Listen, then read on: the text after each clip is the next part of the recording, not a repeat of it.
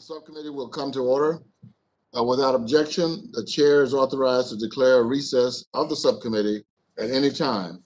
Without objection, members of the full committee not on this subcommittee are authorized to participate in today's hearing. As a reminder, I ask all members to keep themselves muted when they are not being recognized. The staff ha- have been instructed not to mute members except when a member is not being recognized and there is inadvertent background noise. Members are also reminded that they may only participate in one remote proceeding at a time.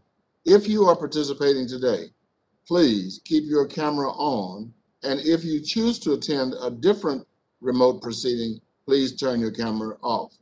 This hearing is entitled Built to Last, Examining Housing Resilience in the Face of Climate Change. I now recognize myself for four minutes uh, to give an opening statement.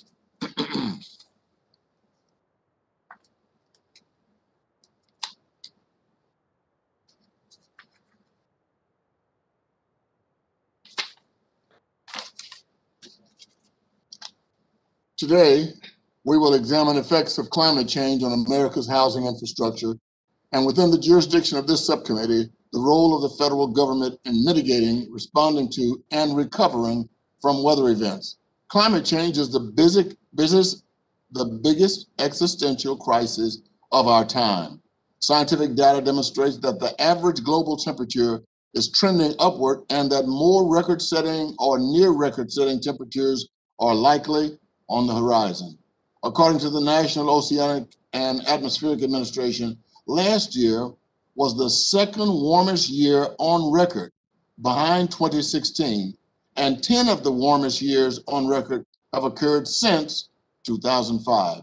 Rising global temperatures associated with widespread uh, changes in weather patterns and scientific studies indicate that extreme weather events such as heat waves and large storms are likely to become more frequent or more intense with human induced climate change. The federal government estimates the occurrence and cost of weather and climate disasters, uh, and last year set a new annual record for disasters with 22 weather or climate disasters in the United States exceeding $1 billion in losses. 2020 was the sixth consecutive year in which 10 or more billion dollar disasters have impacted the United States. As people in every state and territory in the United States remain concerned about climate change impacts, the, the impetus is on federal policymakers to be diligent in supporting resilient and prepared communities and to prioritize areas that are most vulnerable to climate risk, including low-income neighborhoods and communities of color. We will talk about more of that when we get into the question and answer period. Uh, and now I would like to uh, reserve one or present the uh, ranking member uh, for one minute. But before I do, I want to just uh, thank uh, uh, Ranking Member Stivers for the opportunity to work with him over the uh, past few years. Uh, he's been on this uh, committee since he was elected to Congress. I have enjoyed working with him. I'd like to thank him for his uh, civility and his decency. Uh, I wish him very uh, uh, much uh, success in his new uh, job, and um, we, we we hope that uh, you will remember us uh, when you enter into the land of great wealth and opportunity and mansions and uh, expensive cars. So, uh, Ranking Member Stivers, you are now recognized for one minute. Well, thank you, Chairman Cleaver. I appreciate you calling this hearing today, and I appreciate a chance to uh, chat with you. As as you noted on a on a personal note, it's a bittersweet moment for me because this is the last uh, hearing as ranking member of this subcommittee before I leave Congress in a couple weeks. And uh, as I reflect on my time in Congress, I'm proud of the work we've done together, and there's a lot more that I hope uh, that all of you will continue to work on. It's been an honor to work with you, Mr. Chairman, and, and the members of both the majority and minority. I've enjoyed working with everybody. And the good news is I'm just taking another job. I'm not dying, so I'll still be around and plan to be in Washington a decent amount. And I still care about these issues. Uh, you know, getting back to the topic of today's hearing on resiliency, I think it is important that we tackle the issues of making our housing stock as resilient as we can from natural perils. And I think it's really uh, interesting to note that uh, Congress has enacted two five-year reauthorizations of the National Flood Insurance Program since 1994, only two, once in 2004 and once in 2012. There have been short, there have been 16 short-term extensions since 2017, and I hope my colleagues will work in a bipartisan manner to actually, um, you know, get something done. I know last year we negotiated a bipartisan bill that that uh, came out of this committee but didn't advance, and so I am hopeful that uh, you'll continue the bipartisan efforts uh, around resiliency. And the big part of that in this committee is the National Flood Insurance Program. And there's a lot we need to do that I plan to, to talk to our witnesses about. We need to do a better job on the mapping. 3D mapping is an imperative if we're going to figure out uh, how to deal with resiliency. And we have to figure out how to deal with uh, claims that are filed multiple times on the same property. And I think uh, be some uh, ways to deal with that. I think mitigation is so important, and the mitigation efforts uh, are really as important uh, as what you do inside the flood insurance program itself. So uh, I hope my colleagues will keep these issues in mind. Uh, there's a lot to do uh, moving forward, and I look forward to being an outside ally that you can count on to continue to make things work and move things forward. Uh, I look forward to hearing from our witnesses today, Mr. Chairman.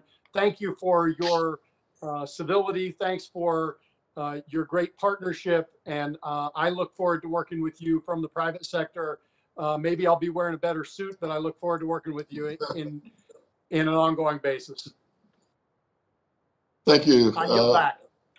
Thank you, thank you, uh, General Stivers. Uh, The, uh, the uh, ranking, the, the chair of our overall committee, the Financial Services Committee, full committee, uh, is not here at, at this moment.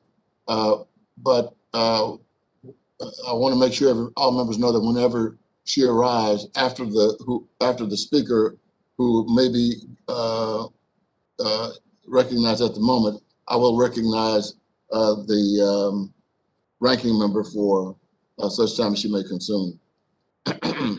And now let, let's uh, get on with the introduction of those who are uh, going to uh, be uh, with us today as witnesses. Um, Let me uh, uh, give Al Green, a member Al Green, the opportunity to introduce our first witness. Thank you, Mr. Chairman. I greatly appreciate this opportunity. Our first witness is a former city council person who uh, went on to be a state senator, who is now a county commissioner, who is very well um, learned and knowledgeable about these issues associated with CDBG DR. And I'm honored to introduce and present to everyone uh, Commissioner Rodney Ellis. Thank you, uh, uh, Thank you. Congressman Green. Yeah, uh, my, am I on here? Um, Let me introduce all of the witnesses, uh, and then we will move toward the uh, question and answers after the uh, chair comes in.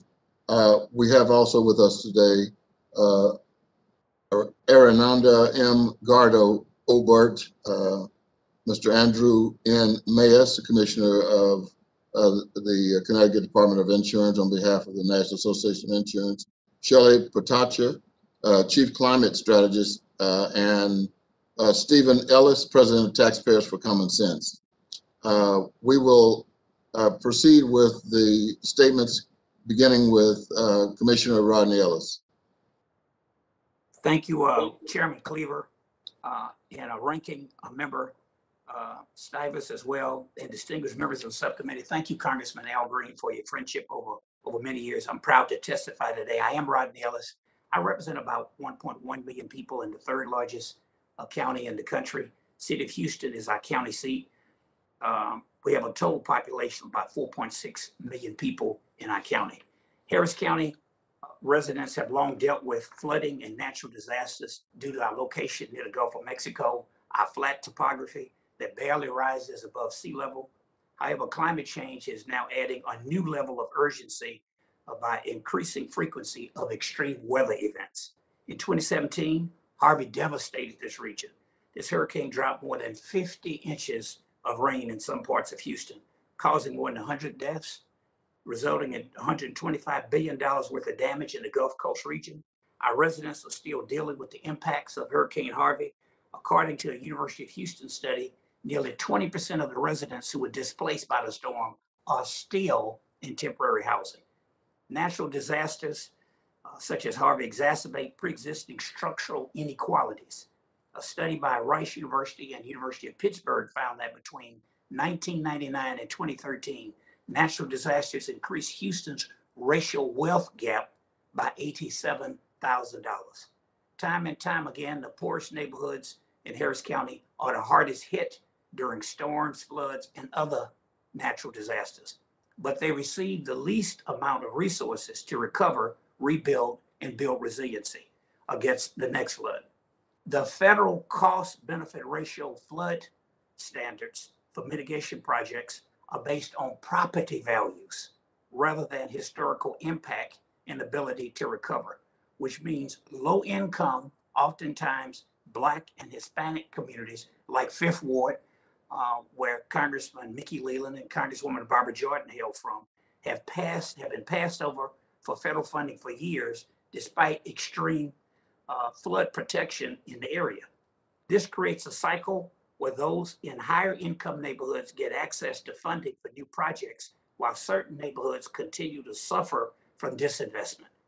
By prioritizing property over people, areas of high income values and fewer people are often selected over areas with larger populations living in expensive homes, even if they if they are at higher risk of flooding and greater damage to protect people in those communities. The state of Texas receives $4.2 billion from the Department of Housing and Urban Development Community Block Grant Mitigation Fund, uh, which, which is administered by the state through our General Land Office to address infrastructure and build and implement structural and non-structural projects, programs, and partnerships that reduce the risk and impacts of future natural disasters. Although my county is very grateful for the sizable federal investments, there are significant shortcomings in the administration of these programs, both at our level on the state level and the federal level. On the CDBG block grant discovery programs, an Urban Institute report found that implementation challenges and slow timelines are a problem. On average, programs took about 4.7 years to complete across all activity types and 3.8 years to complete across housing activities. This is reflected in several year delays at the General Land Office in Texas for disbursement of funds to Harris County. The slow response from the state's GLO to allocate and disperse funds means that communities are desperately waiting for help to rebuild their homes and lives years after Hurricane Harvey. Reducing the risk of harm from future flood requires bold control of infrastructure, policies, and regulations. Following Harvey, we successfully advocated on the county level for equity guidelines on how we disperse, dis- disperse flood infrastructure and recovery projects. We passed a $2.5 billion bond package, which was approved by our voters in 2018. When we prioritize the most vulnerable, our investments create a bigger impact and bring more benefits to more people. As my written testimony has outlined, there are many challenges on the road to full recovery from Hurricane Harvey and preparing for future storms that we know will come more frequently. But there are steps that this subcommittee and HUD can take to support communities like Harris County and all across our country. The Texas Government General Land Office needs more oversight. So do we. It's a good thing for you to come back and ask, what are we doing with the money you gave us? To provide more transparent, comprehensive information on the approach that money is being dispersed through CD, CDBG block grants. Mr. Chairman, uh, I'll just add, uh, I'd like to submit a letter to the record as well from my housing office. I'll be happy to answer any questions. Thank you. Without objection. Thank you, uh, Commissioner Ellis. Uh, Next, uh, we have uh, with us uh, Ms. Adriana Ardonu uh, Godo Aubert. And, and I apologize, would you please, just to help me, pronounce your name as you begin your comments? Of Certainly. Um, Chair, ranking members, and other members uh, of the subcommittee, thank you for the invitation to testify. I am Ariadna Godreau-Aubert, uh, founder and director of Ayuda Legal Puerto Rico. Um, since 2017, we lead legal support and advocacy efforts around disaster recovery in the island. Almost four years of disasters bring us closer to a climate, housing, and infrastructure crisis that threatens the possibility of life in Puerto Rico. 12% of the population has left in a decade. 24% of our people lives in high to high medium risk zones. Addressing so affecting addressing effective disaster planning and response, affordable and resilient houses is urgent. Families who were not able to access FEMA, who were turned down or neglected by Tu Hogar Renace, a STEP program, were brought into the Repair, Rebuild, and Relocate CDBGDR program administered by our local Department of Housing. Between July 2019 and January 2020, 27,000 families applied. As of today, only 900 houses have been repaired and 45 rebuilt. A new hurricane season starts in 26 days. We need disaster assistance to arrive quicker. We need guidelines to ensure coherent planning, equitable access to funds, displacement minimization, and participation. We need flexibility. Disaster assistance should not be a blind bet on possible outcomes, but a strategy towards sustainable recovery. And federal and local governments share the responsibility to lead survivors to resiliency. We need CDBGDR to be permanently authorized. The wait for allocation notices is excruciating. Mitigation funds destined to PR were made available almost 24 months after the appropriation. Permanent authorization could also deter political actions to delay funds, such as those experienced by Puerto Rico and that were grounded on a complete disregard for the lives of 3 million people in the island.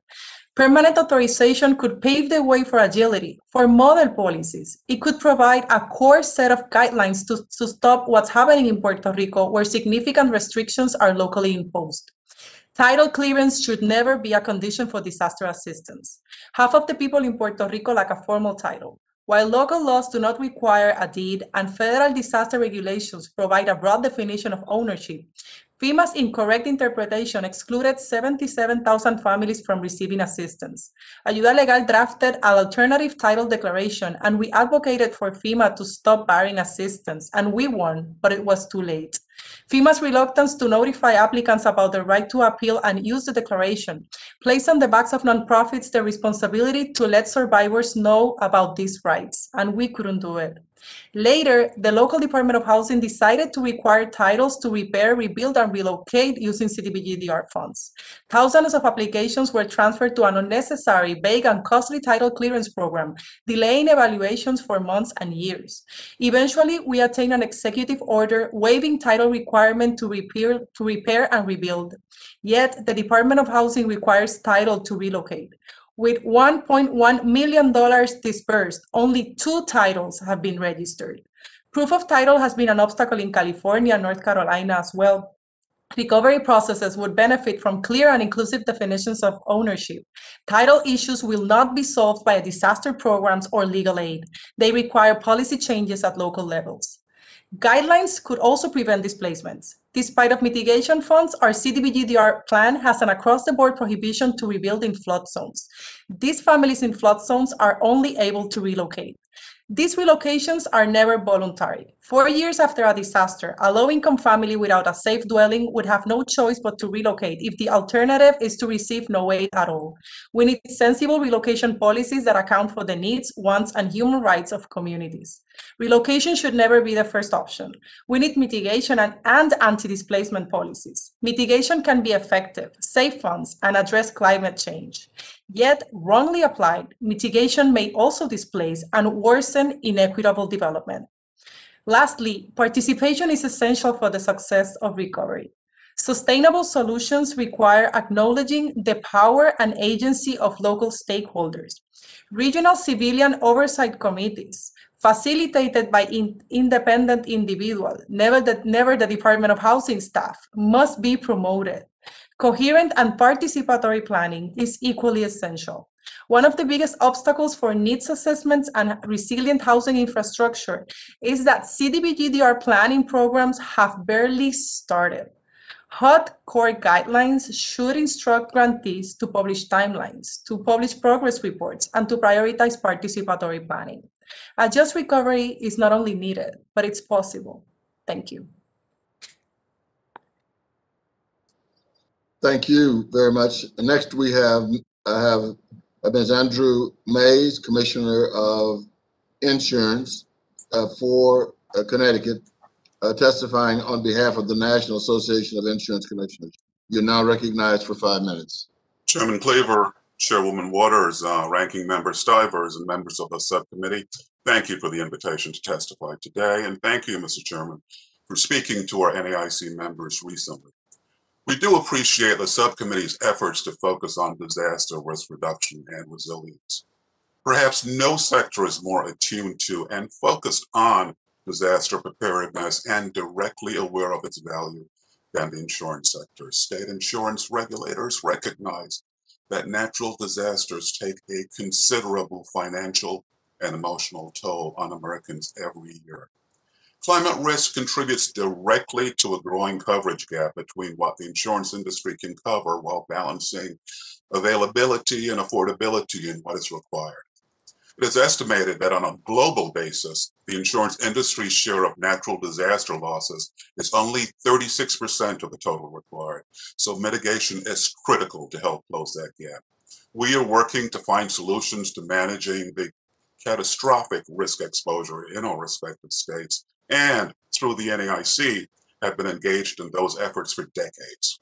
I serve as a member of the NAIC's Climate and Resiliency Task Force, and we are focused on five areas pre-disaster mitigation, solvency, climate risk disclosure, innovation, and technology.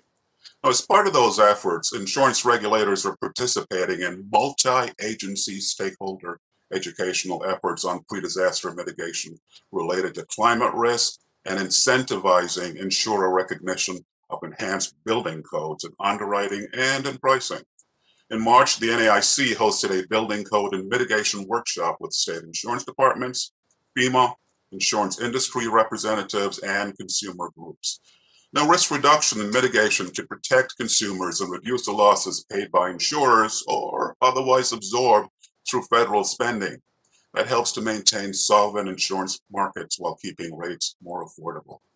State insurance regulators are examining the potential solvency impact of insurers' exposure to climate related risk, and we may consider enhancements to our regulator solvency tool to analyze and address an insurer's potential financial exposure to the physical and to the transition impacts of climate change.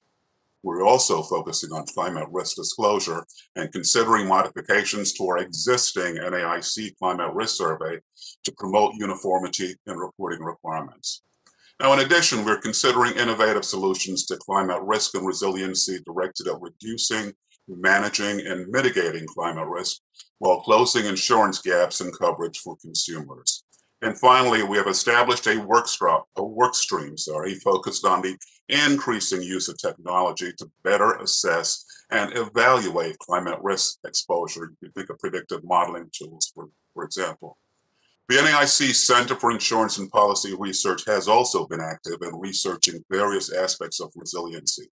We recently held an event in coordination with the Insurance Institute for Business and Home Safety on the insurance implications of severe convective storms, and that included a live demonstration of the importance of building resilient standards. State insurance regulators also have a collaborative relationship with FEMA, and we are jointly hosting resilience roundtables across the country on resilience priorities before, during, and after disaster events. Some states have formed a regional resilience working group with FEMA that's focusing on lessons learned from 2020 in advance of the upcoming hurricane season. Further, we have established a FEMA NAIC advisory group to coordinate resilience activities between state regulators and FEMA. And we, the NAIC and FEMA, are also working on a regional earthquake training exercise. Last, but certainly not least, state insurance regulators recognize the pivotal role that flood insurance plays in preparedness and recovery. We urge Congress to pass a long-term NFIP reauthorization before it expires on September 30th to provide certainty for policyholders. Reauthorization legislation should focus on ways to encourage investment in flood mitigation and ensure consumers have access to multiple options for flood insurance products, and to help facilitate greater growth in the private flood insurance market as a complement to the NFIP. Uh, in conclusion, state insurance regulators share your support for investing in prevention and preparedness to help minimize the impact of natural catastrophes and economic loss. Pre-event disaster planning, effective mitigation, and rational building codes are crucial parts of the solution. Thank you for the opportunity to testify today, and I would be pleased to take your questions. Thank you, Mr. Mais, for your co- uh, comments to us. Uh, And now we recognize Ms. Shelley Poticha, who is the Chief Climate Strategist at the National Resources Defense Council. Good afternoon, everybody. Uh, Chair Cleaver, Chair Waters, Ranking Member Stivers, and members of the subcommittee, thank you for the opportunity to testify today about housing and climate resilience. My name is Shelley Poticha, and I am the Chief Climate Strategist for NRDC, the Natural Resources Defense Council.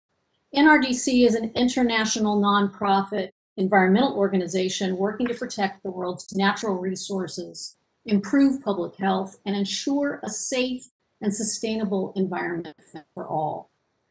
The impacts of climate change, extreme heat, powerful storms, sea level rise, are already impossible to ignore. We now quite undeniably live in a rapidly changing world that will profoundly impact our nation and our society.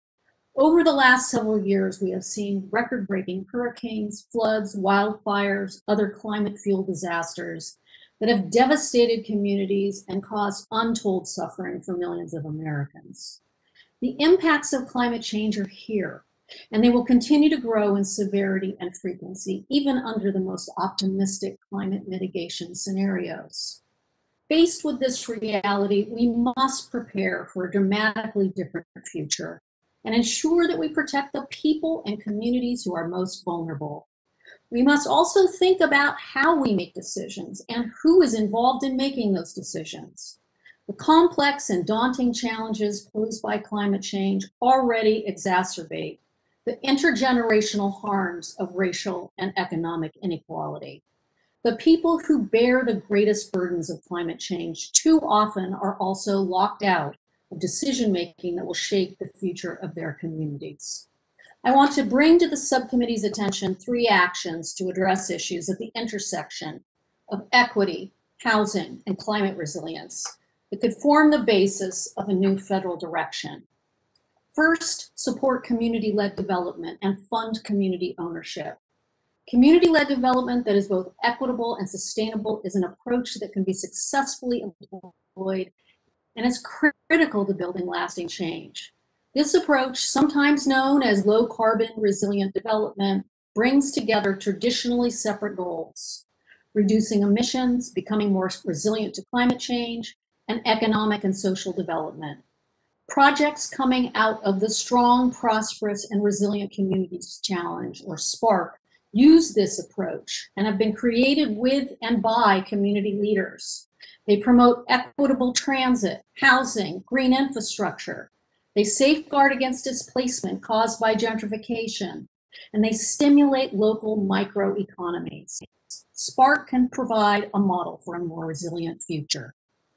Second, in addition to fully funding CDBG, which targets historically disadvantaged communities of color with vital resources and technical assistance, Congress also needs to permanently establish in statute the Community Development Block Grant Disaster Recovery Program and use it to model community led low carbon development.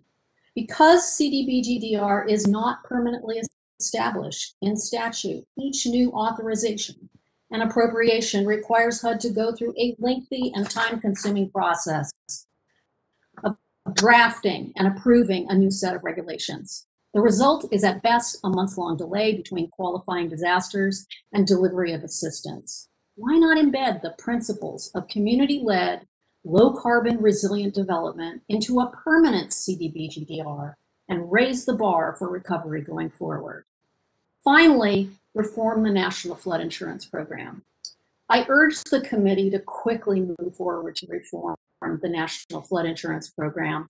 Much more than an insurance program, NFIP serves as a critical source of information for individuals and communities about flood history and flood risk. The right reforms could allow NFIP to be a linchpin in our efforts to cope with the growing problems of flooding, and sea level rise that result from climate change. But currently, it's a liability.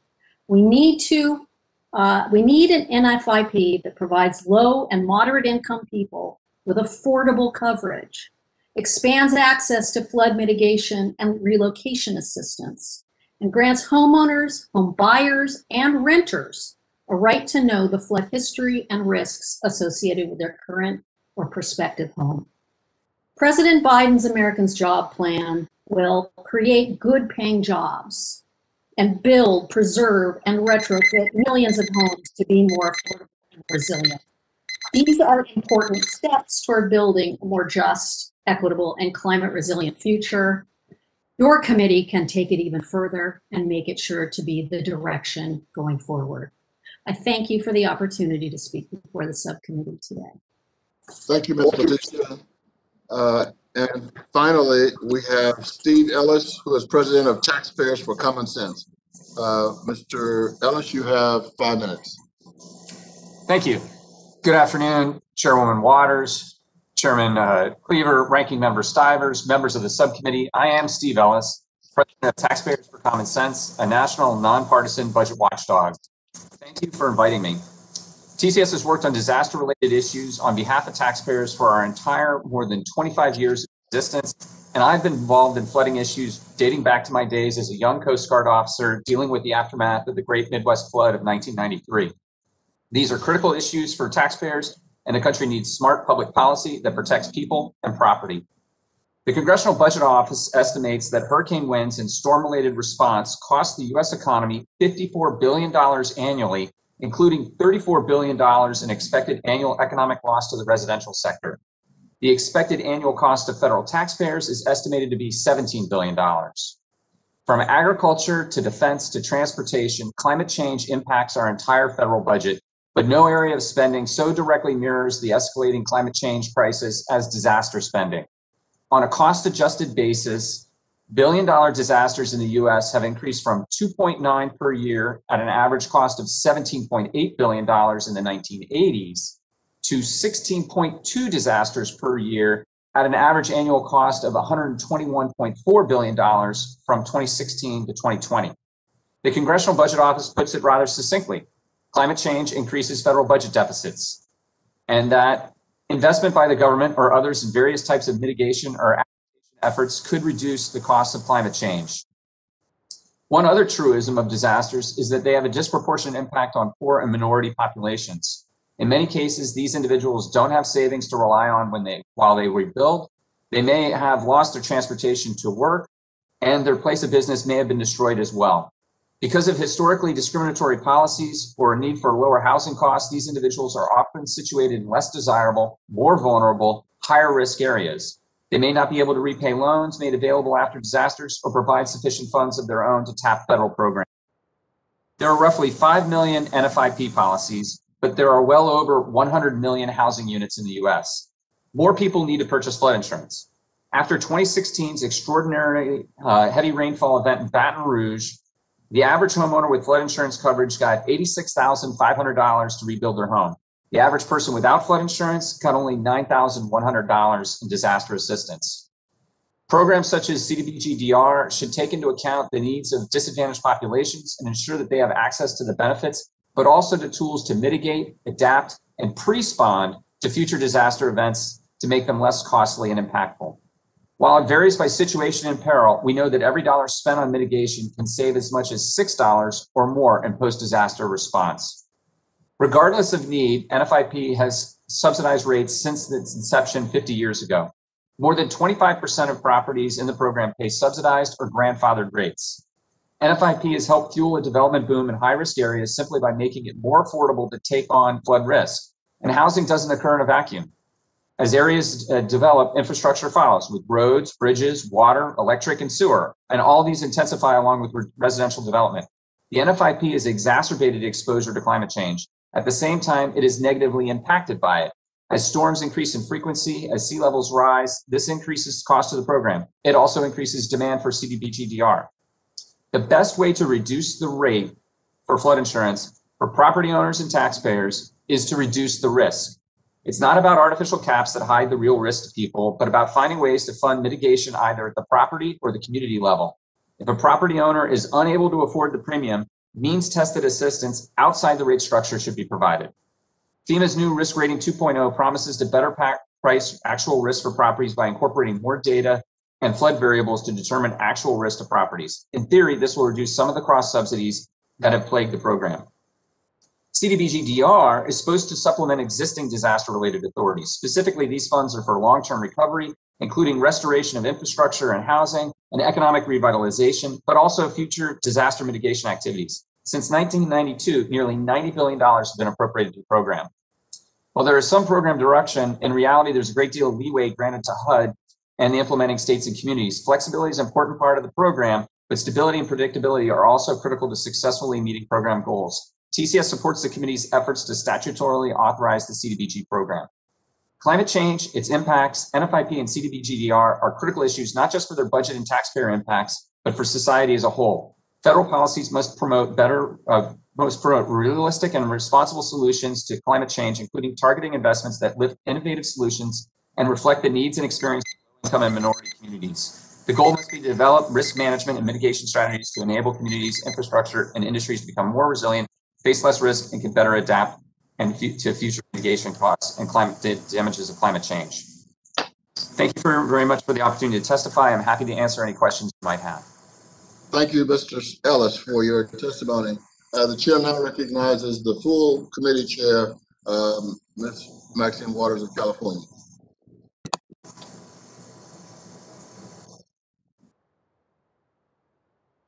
We on? Yeah. Thank you very much, Chairman Cleaver, for convening this hearing on the need to improve the resiliency of our country's housing infrastructure in the face of climate change.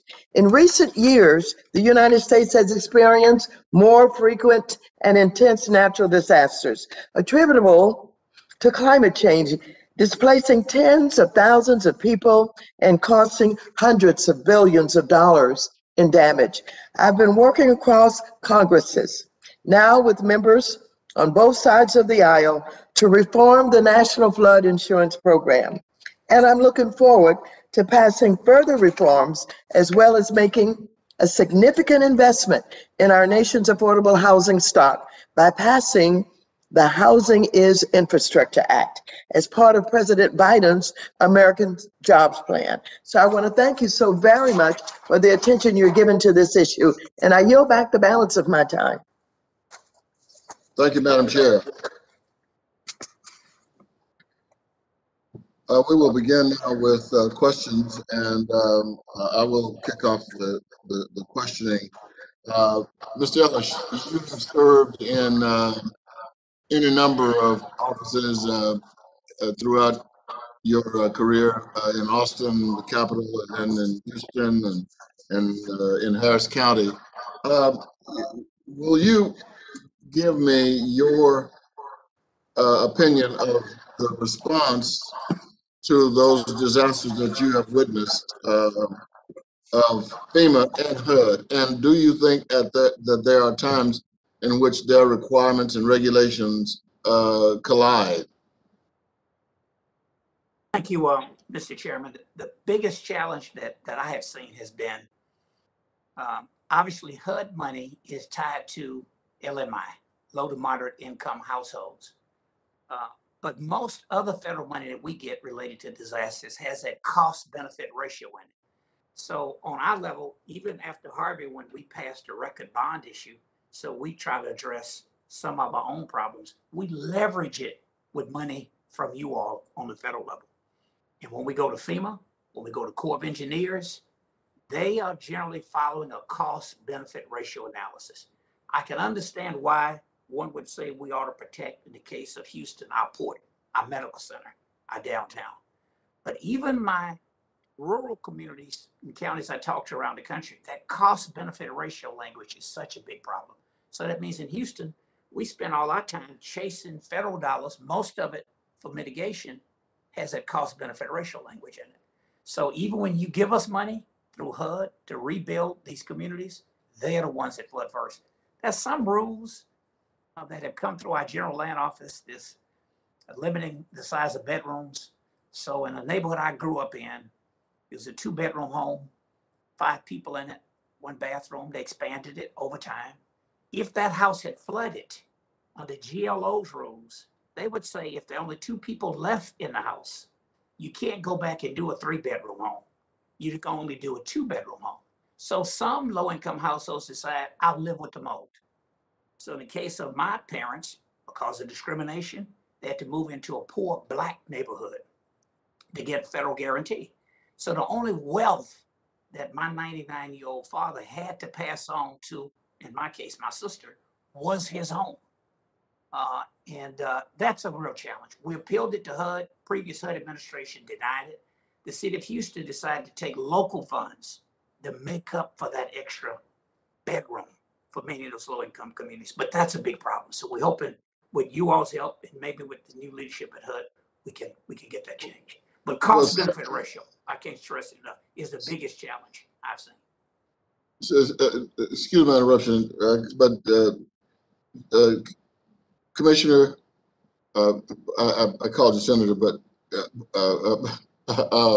Sen- Senator, Senator Commissioner, um, I, can you, I mean, wh- why did HUD deny? I mean, what, what was the, the rationale that, that they gave you? Yeah. the best analysis that, that I can come up with is they were thinking if you have a limited amount of money, you could spread it out to more households. When we talked to them, that was their rationale. So we said, we will take other federal money to make up for it. I know those low income communities. Mr. Chairman, you know some of them haven't gone to Prairie View. And I also, like my dad's, if he flooded, he would just live with the mold instead of give up that extra bedroom and bathroom because that's his only wealth to pass on. So it, it, it's been a big problem. And HUD told me they hadn't seen that anywhere else in the country. They've not required it. Uh, I, I just think that the land office was trying to be protective, but sometimes we in government uh, want to offer more help than people are willing to take it. Hey, don't worry about the title. Just call me Rodney. That's what they put on the ballot. That's what I've learned. Thank you for being with us, uh, uh, Senator Rodney. Uh, uh, The gentleman, Mr. Stivers, uh, the ranking member from Ohio, is now recognized for five minutes. Thank you, Mr. Chairman. First, I'd like to request unanimous consent to enter into the record three uh, statements, one from the Manufactured Housing Institute, one from uh, the National Association of Mutual Insurance Companies, and one from the reinsurers. Without objection. Thank you. Um, and my first question is about mitigation. And, um, you know, I, I think we'll be in a much better position going forward if we can do something about mitigation. Um, so I, I want to ask um, uh, Mr. Ellis if um, you can go into a little depth. You talked a little bit about uh, mitigation, but it seems to me that there's little incentive uh, for mitigation efforts because the federal share of these disasters has gone up. Uh, back in 1955 during Hurricane Diane, the federal government only covered about 6% of the disaster total cost. As part of Superstorm Sandy, the federal government's exposure was 77%. So it seems like there's little incentive to enact mitigation. What can we do to uh, focus on mitigation so that we can reduce the exposure before these disasters strike, Mr. Ellis? I'm, I'm assuming that's, that's me. Um, this is Mr. Ellis. Um, so. Yeah, that's you. Yep. All right, all right, just making sure. So, um, you're absolutely right, uh, Congressman, that they, uh, the, the share of, federal share of disasters has grown dramatically, and it's even more recent than, than you mentioned, Diane. Um, as recently as Hurricane Hugo in 1989, less than 30% of the total cost was borne by the federal government. So it is, it is skyrocketed in the recent decades. And certainly, part of it is is is is having the enticement of pricing. And we get into this about flood insurance, particularly, and about artificially lowering rates. It it a, it serves as a disincentive to mitigation. And we recognize that you know even if you have a lower rate, the flood doesn't doesn't think you're in a different floodplain. It it floods you just like the what your real rate would be. And so essentially, you want to make sure that people have incentives to mitigate and that there are opportunities and, and instruction for mitigation as well. Um, and so those are those are really critical elements. But if you flood with cash, then you you you you need to make sure you're directing that cash in the appropriate ways. Thank you. And one follow-up question, uh, Mr. Ellis. The, uh, the National Flood Insurance Program statute requires that FEMA set premiums based on the risks involved, but the National Flood Insurance Program still uses the same rating methods they've used for the last 50 years. I know that FEMA is doing something to address this, um, and I, you know, I'm curious, what kind of technology should they use, whether it's 3D mapping or other things as they address the real risks involved to charge actuarially sound premiums? Thank you, Congressman Stivers. Y- Yes, that is true that FEMA is using basically the same methodology that they've always used on NFIP.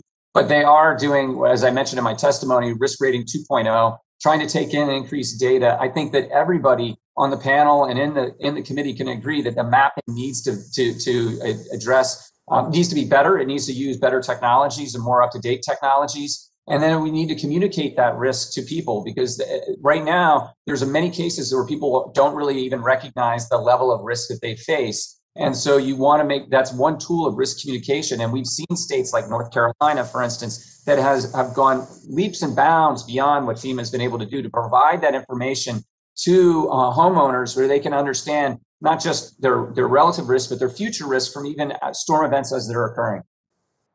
And one follow-up question. Uh, one of the biggest problems in the National Flood Insurance Program is the multiple claim properties. How should we deal with properties that have had three or four claims? Uh, what should we do to uh, move forward? Because that appears to be one of the biggest problems in the, in the system. It, it, I mean, it's interesting to me, Congressman, that, that they seem to keep up, come up with different terms. There's repetitive loss properties, then severe repetitive loss properties, extremes repetitive loss properties. Clearly, this is an issue that has to be dealt with, and in some cases, you know, um, uh, Congressman Blumenauer back in 2004 was mentioned the uh, um, uh, the uh, uh, reauthorization at that time. He had three floods and you're out of the uh, taxpayers' pocket, three strikes and you're out of the taxpayers' pocket act, and it was basically trying to put more pressure on on property owners to mitigate or to to basically to communities to do um, buyouts and, and and relocation in a structured and thoughtful manner. Thank you. I yield back, Mr. Chairman. Uh, maybe we'll do a second round. I've got lots more questions, but uh, thanks for the time. I yield back. Uh, Thank you, Mr. Stivers. Uh, The chair now recognizes Chairwoman Waters for five minutes. Oh, thank you very much, uh, Mr. Chairman. I do appreciate that. Uh, I'm going to direct my question to my old, longtime friend, Commissioner Ellis, uh, politician par excellence. Thank you for being here today.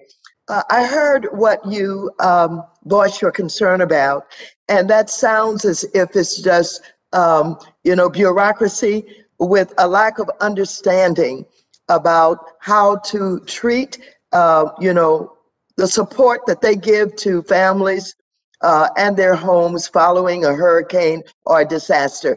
And that's kind of bureaucracy at its worst. Uh, but I want to ask you a little bit about what I experienced when I, uh, after Hurricane Katrina. I worked to hold St. Bernard Parish accountable and ensure federal housing funds would not be used to enact a discriminatory policy that prohibited the construction of multifamily housing uh, post Katrina. Katrina. Policies such as blood relative ordinance. I don't know if you've ever heard of this, that prevented St. Bernard Parish homeowners from renting to anyone who was not a blood relative. In the aftermath of the various disasters and weather events in Texas, how has Harris County worked to prevent a desperate impact on communities of color that are seeking to rebuild and recover from natural disasters? Yours didn't sound like necessarily discrimination. It just sounded as if it was uninformed, uh, ill-informed uh, individuals that handle uh, the policy following a disaster. Have you seen any signs of direct discrimination? Chair- Chairwoman, thank you for the question and your years of leadership. I- went to Xavier, New Orleans, so I'm, I'm well familiar with some of those schemes that were going on in, in Louisiana. In Texas, at the end of the day, that smaller bedroom policy has had a disparate impact on communities of color. Uh, I don't think the intent uh, had anything to do with uh, someone being black or brown, but the effect has because it's been those neighborhoods that have done it the most. I would encourage uh, you all in Congress to make sure you give us the oversight, ask the hard questions. Uh, I, I think HUD, they did, they sent all kinds of smoke signals to the state saying, ditch that idea. But they didn't want to step in and make them do it. Just the, the, the respect, I guess, for local control, which I'm for, other than I'm all for states' rights until the state's wrong. I have a problem with it. Uh, but it would be well worth looking into, into, into what we do. And, and Congresswoman, so much of what we do on the mitigation front, despite all of the great money that comes from HUD, most of the money in our region for mitigation to rebuild, to protect the housing investment has come through FEMA, uh, the Corps of Engineers. And we all spend our time with our money chasing other federal dollars where that cost benefit ratio comes in. How we get rid of it, my colleagues on the county level, all sides of the aisle tell me we ought to ditch it. Protect your, your downtown, your airport, but that, recognizing more value over somebody's wealthy home, the house I live in now, instead of the house I came out of, Well, thank you so much. Uh, I am very pleased that uh, Mr. Cleaver, Congressman Cleaver, is taking such a leadership uh, on these kinds of issues. I will do everything that I can to support him, and we really want to do it right. And this is a moment in history where we have an opportunity to do it right. So thank you so very much for being here today. And Chairman Cleaver, I yield back the balance of my time. Thank you, Madam Chair. Uh, The gentleman, Mr. Posey from Florida, is now recognized for five minutes. Uh, Thank you, Mr. Chairman. Uh, Mr. Ellis, can you please tell us uh, what your research shows about the role of building codes in achieving flood and storm resilience and how these measures are being adopted, the best way they're being adopted uh, by various states?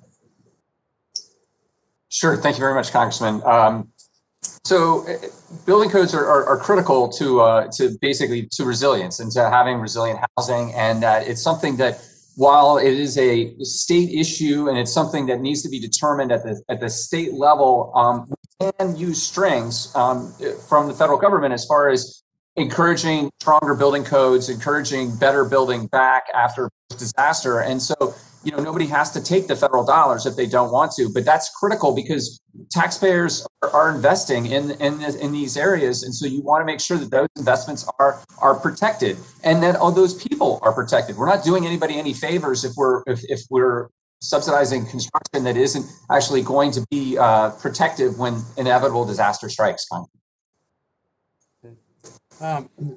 Also, Mr. Our, our federal response to flooding is scattered over several agencies, the Corps, FEMA, NRCS, and during disasters, even HUD. Uh, do you believe we could benefit, uh, from a cross-cut flood mitigation budget that allows Congress to see how the different agencies contribute to flood solutions and pick the best responses and pare back on the less effective programs? Well, Congressman Posey, I'm all about more data being available and, and being able to understand how, you know, $4 trillion is being spent, you know, across the whole federal budget. So certainly in this area where it's very critical and we throw a lot of money post disaster, it is really important to understand how those funds are being allocated. And we do have different stages in disaster response. You know, have the disaster relief fund that kicks in right after a disaster. You have the Corps once they get that they have they have additional funds right immediately, and then they often get more funding and supplementals, and then sim- similarly to HUD. And so understanding how that money is being allocated, one, it increases confidence of the taxpayers that their money is being spent wisely, and that's critical because we're we're appropriating such huge sums. And so I think something like that would be a tremendous asset to Congressman Posey. Thank, thank you very much. Uh, Commissioner Ellis, uh, flood hazard mitigation projects hold the promise of preventing flood damages. And so adapting properties to reduce flood damages, uh, building flood control projects, and even moving people out of harm's way can all help.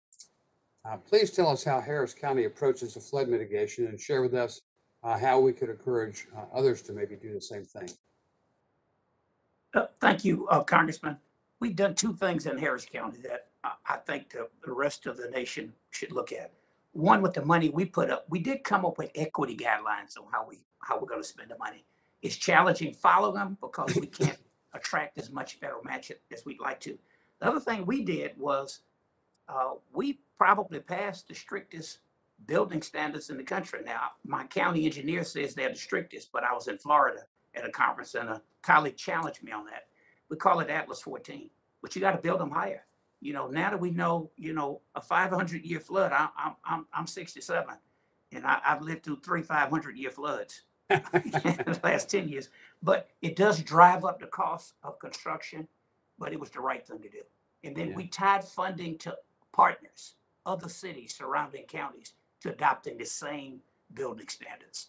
And so far, most of them have done that with strong bipartisan support. Smart, thank you. Uh, Mr. Mais, you represent our uh, state insurance commissioners. Can you assess uh, for us how an enlarged role for private flood insurance regulated by the states could improve our nation's flood insurance and how we should resolve the repetitive loss uh, properties in moving to an enlarged private flood insurance presence compared to the NFIP? Thank you, Congressman. Appreciate the opportunity to discuss this. And by the way, if I could also say that mitigation, just to throw my two cents in here, is something that we as state insurance regulators are very concerned with, we're very supportive of. You know, it's like my father used to tell me, uh, you gotta fix a roof before it starts raining. But we do think there is a huge, a significant role for uh, private flood insurance. And we do look at the NAIC, we have been collecting data and the role of private flood insurance has been increasing. We do look forward to working with Congress to enable an even greater role for private flood insurance. And one way to do that, for instance, is with the NFIP. If you enable people to leave without losing their subsidies, you know, so they can test the market, or if they're able to get, I think is proposed, on they'll get a refund for the time that they left the uh, NFIP. All of this will help and improve the attractiveness of private flood insurance, and I think overall reduce the cost of insurance. Well, thank you so much. My time has expired and I yield back, Mr. Chairman. Thank you. The, the gentlewoman uh, from New York, Ms. Velázquez, is now recognized for five minutes. Thank you, Mr. Chairman. Thank you for this uh, timing uh, meeting. Uh, Ms. Godreau, I would like to address my first question to you. Puerto Rico's uh, CDBG-DR action plan has an across-the-board prohibition on rebuilding in flood zones. What type of problem does this present to LMI communities? What alternatives are there, and what would be a sensible relocation plan look like? Uh, Thank you, Congresswoman Velázquez, for the chance to answer this question. Uh, Different from other jurisdictions, Puerto Rico is an island. So the impact of climate change, sea level rise, has a very direct impact on the people living, particularly in flood zones in coastal zones. Uh, These communities, for uh, several historic reasons, going back to slavery, are low-income and Black communities, which are deeply affected by across-the-board prohibitions.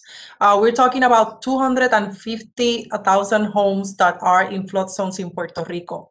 Relocation is not possible within the, geogra- the geography of Puerto Rico if we don't have a sensible relocation policy that, for example, includes an inventory of the available housing, that includes uh, or that um, eliminates the discrimination against people with formal titles, which is almost half of the population, and that also accounts for climate migration, not only in the short term, but also in the, long run uh, of the island. Thank you. And Ms. Godreau, as you mentioned in your testimony and your uh, uh, previous answer, 69% of the inhabitants of Puerto Rico are homeowners, yet many lack formal titleship, which makes it more difficult for them to access FEMA aid. How was your organization able to help homeowners overcome their lack of formal title? Uh, FEMA denied approximately 77,000 applications of families in Puerto Rico. So uh, neglected assistance uh, snowballs and grows exponentially. What we're seeing right now is that constant discrimination against, against people with formal title once again like hinders the rights of Black low-income communities who, because of access to justice, because of cultural patterns, and because the, the process is very complex and slow, are not able uh, to access assistance. As I said in my Let, let, let me ask you, what other steps can FEMA and HUD take to help make it easier for homeowners without formal titles to have their claims uh, recognized? Uh, FEMA regulations already state a definition of owners that doesn't that doesn't require registry or, or a title deed. We need HUD and CDBGDR programs to adopt this kind of, of definition. Okay, thank you. Um, Mr. Mais, since 2017, we have reauthorized the National Flood Insurance Program a total of 16 times on a short-term basis. I have called for reauthorizing the program for as long as 10 years. As you know, uh, the program is once again set, uh, set to expire at the end of September. Can you explain why a long-term reauthorization of the NFIP on a bipartisan basis is so important? Thank you, Congresswoman. And let me just say here, I'm going to go back to the idea of mitigation planning.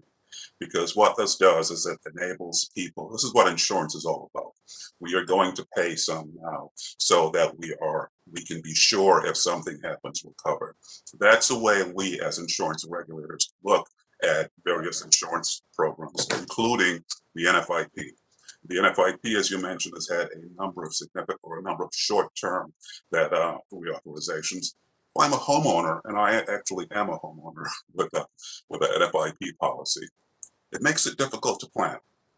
You know, you just don't know what's going to happen, how long this is going to be in place, and where you should go after this. So that reliance on short-term authorizations or reauthorizations, I think, has created a tremendous amount of uncertainty for consumers, and that includes businesses that rely on flood insurance. And we, you also have to, or at least certainly we keep in mind the fact I've uh, been in this business for a while. People don't understand that flood insurance policies take effect after 30 days. It's hard enough convincing people to get the policies. Thank you. Thank you, Mr. Chairman. I yield back. Uh, the, the gentlewoman yields back. Uh, the gentleman from Wisconsin, Mr. Steil, is now recognized for five minutes. Thank you very much, Chairman. I appreciate uh, you holding today's hearing. I, I got to say, though, I look forward uh, to the majority allowing us uh, to be back in person across the board in DC. We're spending money uh, like drunken sailors pretty darn inefficiently. Uh, we can't even do it in person. And so I hope the majority brings us back. I'm excited to talk about uh, today's topic as well, albeit uh, virtually. So let's let's dive in with the the short amount of time. There's been a lot of discussion uh, surrounding the National Flood uh, Insurance Program reauthorization and how are we going to really ultimately uh, keep rates in check. I'm I'm sympathetic uh, to homeowners uh, who are concerned about their ability to to bear higher rates.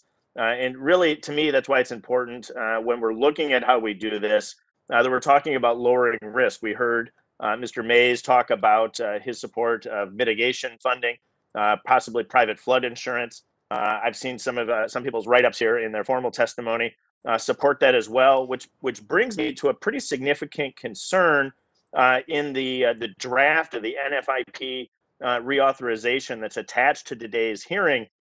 Is I read this, uh, it puts in place a nine percent uh, increase cap.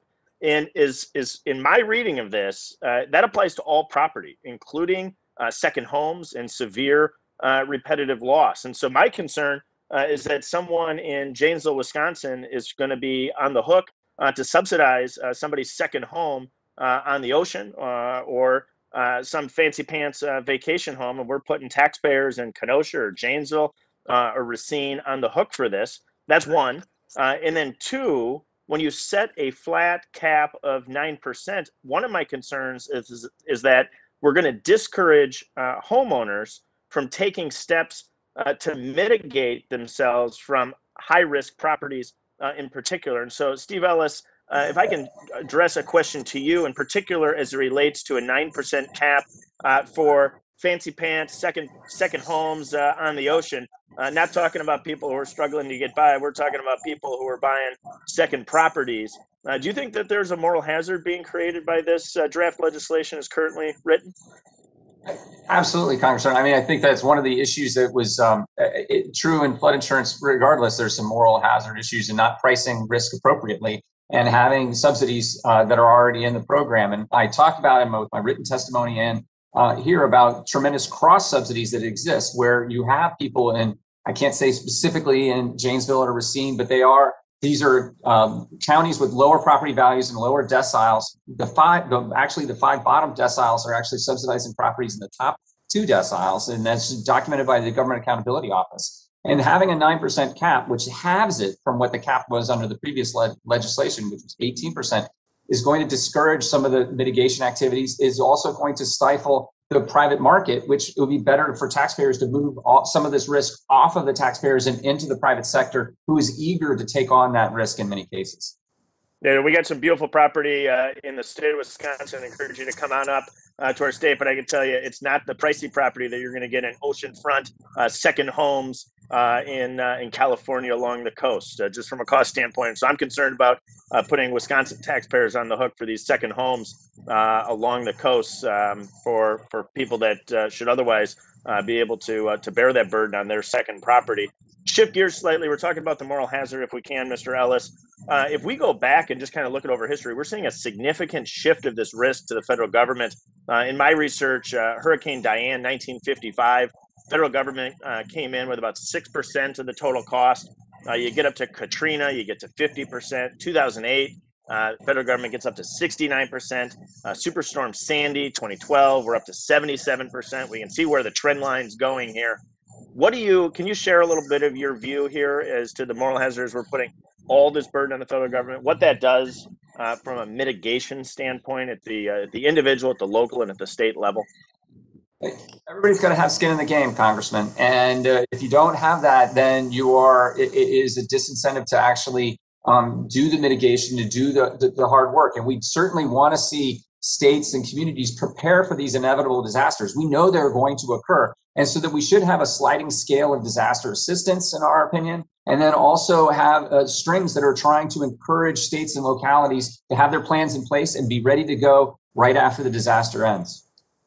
I, I appreciate your feedback, uh, Mr. Chairman. I appreciate having this hearing. Look forward uh, for all of us to be hopefully uh, in person discussing these important topics in the near future. And with that, I will yield back. Thank you, Mr. Steil. the gentleman from California, Mr. Sherman, you are now recognized for five minutes. Thank you. I guess I'm here just to epitomize beachfront property in California.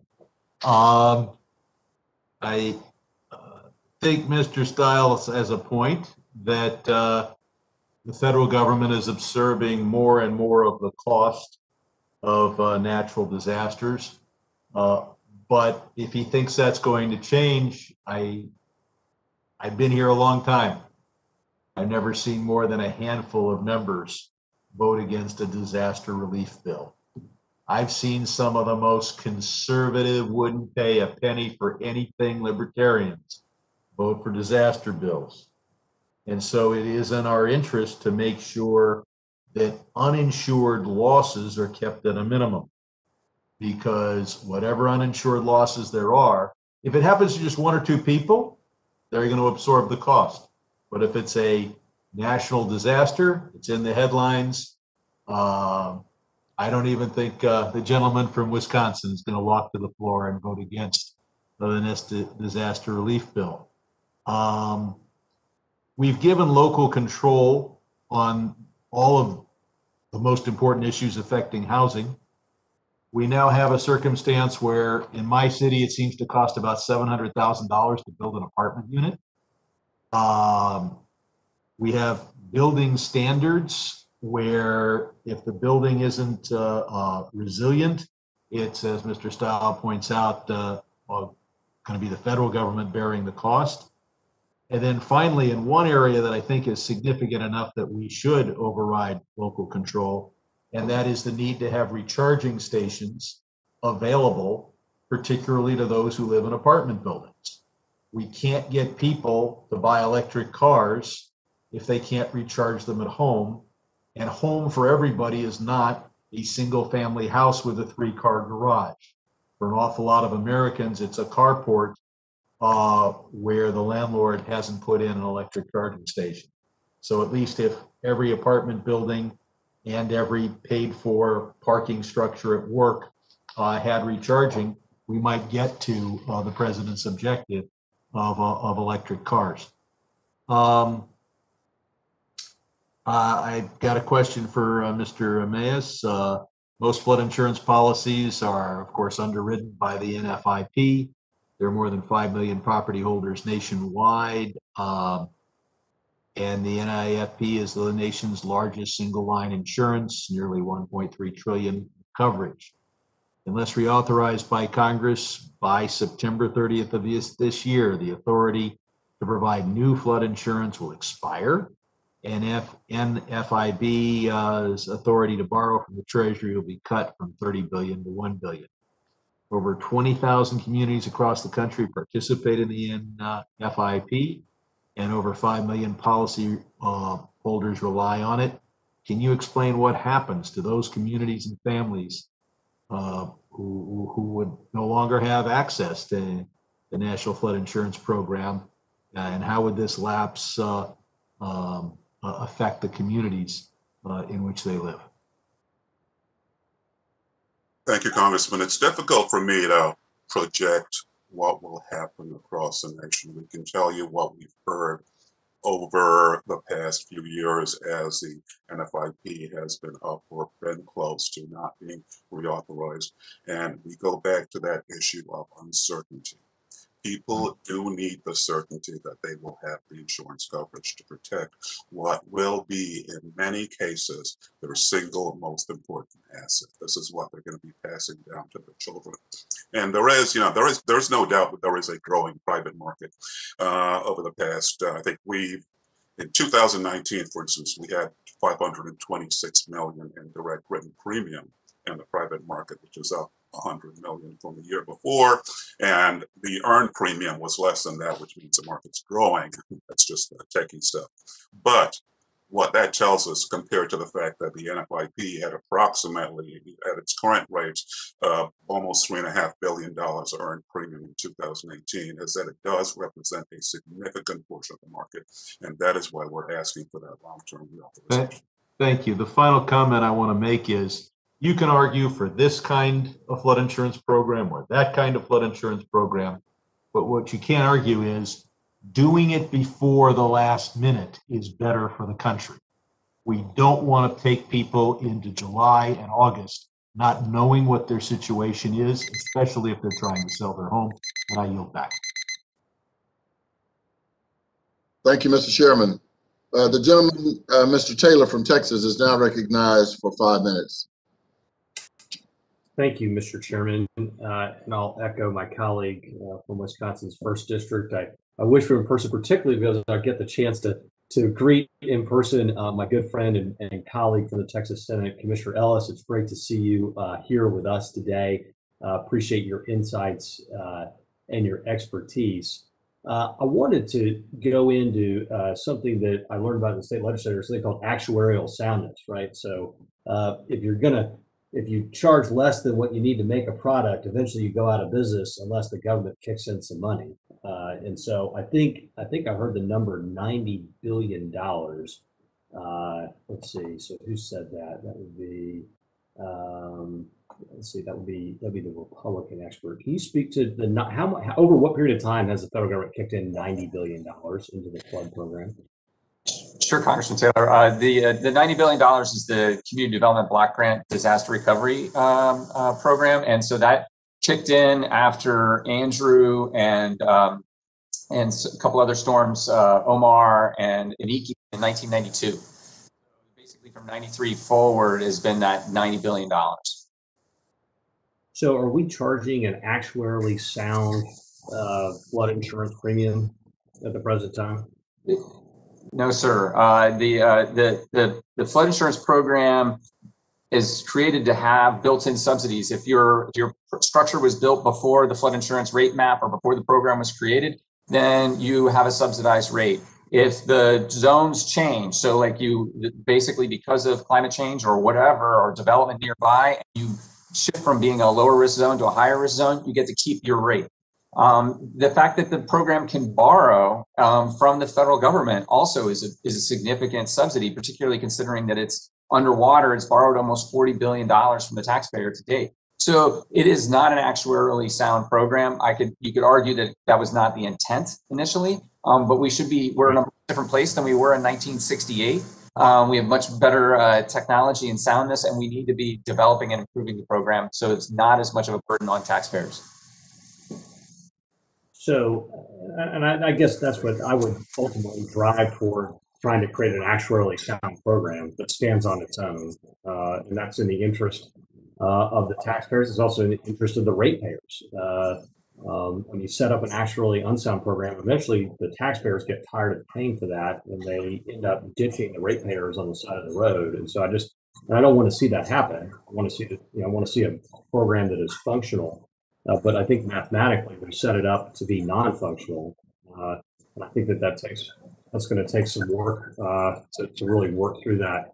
Um, and um, Ms. Gobert, I just on Puerto Rico, uh, when I hear about people owning uh, uh, title to properties without clear title, my heart goes out to those people. I mean, that's that's a that's a really tough spot to be in. And as a former state legislator, I kind of think, gee, like that's something that the Puerto Rico legislature should fix. I mean, do you really want, I mean, do you need a congressman from Texas to go and fix this for you? I mean, I, I would hope that you guys are working on that in Puerto Rico and you can ultimately solve this problem. Um, hopefully, in uh, in fact, we used the example from Texas to develop the sworn statement and to make the lobbying process for the CDBGR alternative title declaration. What we need is like basic clear guidelines stating and mandating local governments not to require formal titles. Um, as I said, it's basically a waste of disaster aid funds to be using this money to try to push title clearance processes that may last for years and have no results.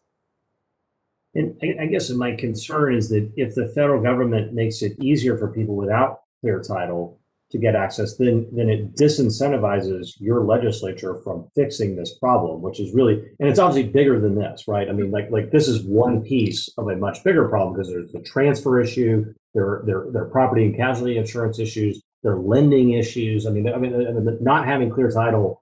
Th- this is a very small piece. fortunately. I mean, it's obviously enormous for the people that have this problem. Uh, and I don't, I don't want, I'm not in any way unsympathetic, very sympathetic to this particular problem, but I just, I worry that if we, if we fix this particular piece of it, oh, okay, we don't have to worry about it.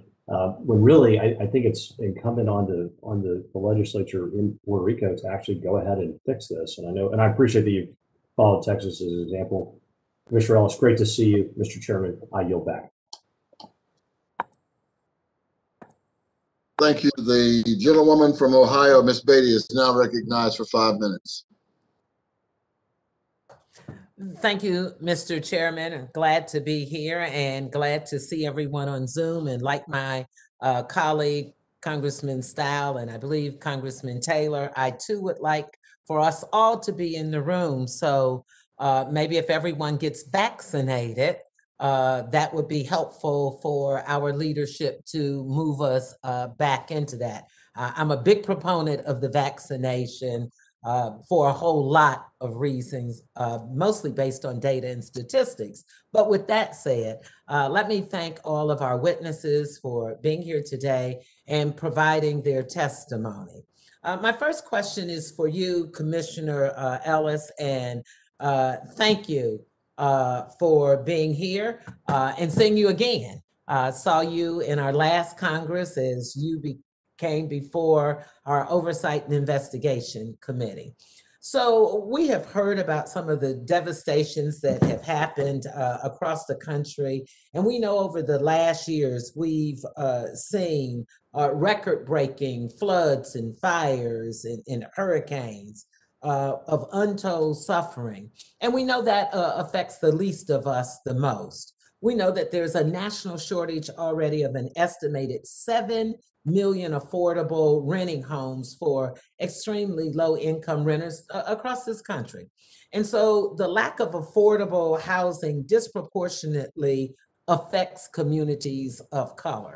The shortage is greatly exacerbated when we have any one of these natural disasters. For example, after the devastation brought to Hurricane Katrina, the housing authorities of New Orleans reported having close to some 2,000 public housing units for low income. And that was 3,000 less than what they had expected prior to the hurricane. So that's why I strongly support Congressman Green's priority for one for one replacement of affordable housing units in his CDBG DR proposal. So Commissioner Ellis, can you briefly describe for us any issues that Harris County has had with replacing affordable housing units after Hurricane Harvey? Thank you, Congresswoman, and, and good to see you again. Uh, we've had tremendous problems. Uh, Congressman uh, Taylor and I were in the legislature together in Texas, and Texas even has a, a rule for low-income housing credits that uh, when Congressman Taylor and I were there, your state senator, your state uh, House member had to sign off, and you get credits towards getting low-income housing credits if they signed the letter. And on the Senate side, with Representative uh, Congressman Taylor's support, we got rid of that. But on the House side, we couldn't, and it's a big problem because of the NIMBY issue.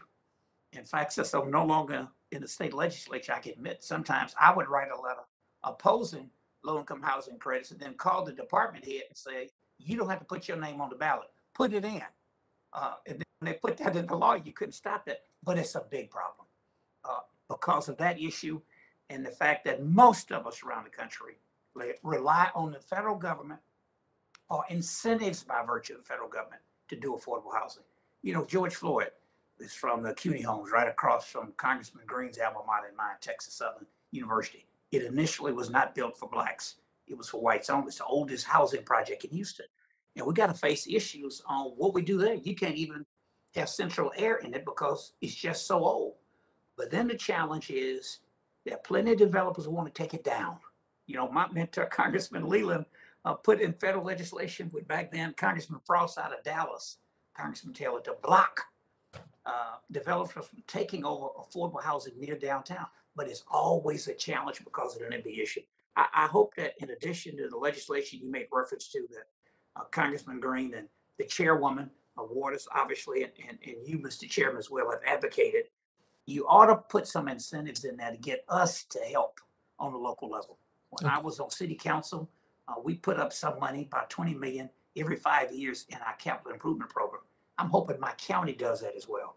As one of your colleagues made reference earlier, you know, we, we it's all their money, uh, but it's not fair for us to always put it on you we ought to take some of that, that heat for affordable housing. And, and I'm going to stop you because I think my clock is running down, and I want to ask uh, our witness, Ms. Poticha, can you briefly explain the economic effects of a national disaster on low-income communities as opposed to a beach town field and with second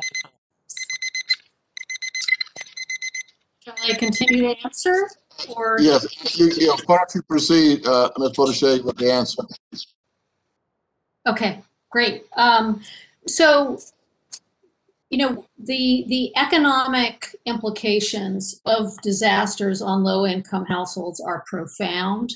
Most low-income households actually live in rental housing, so they're at the whim of the apartment building owner or the owner of the home to retrofit these units.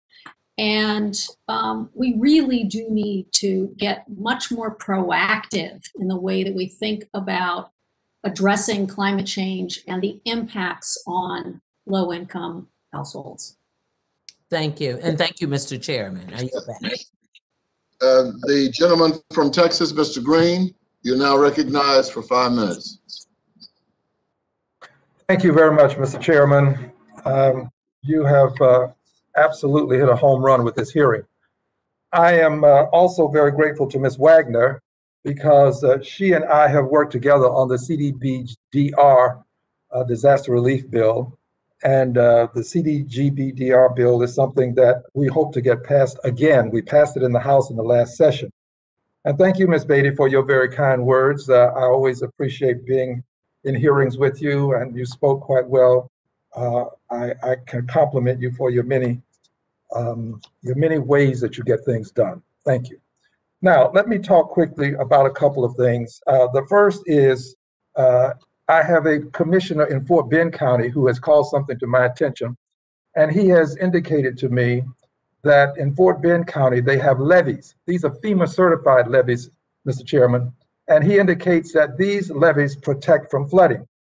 And it is his position, and I tend to agree with him, that if these levees are protecting from flooding and they are certified by FEMA, he believes that the cost for the uh, flood insurance should be reduced because the risk is being reduced by the levees. And the cost should be directly proportional to the risk. If the risk goes down, then the cost should go down.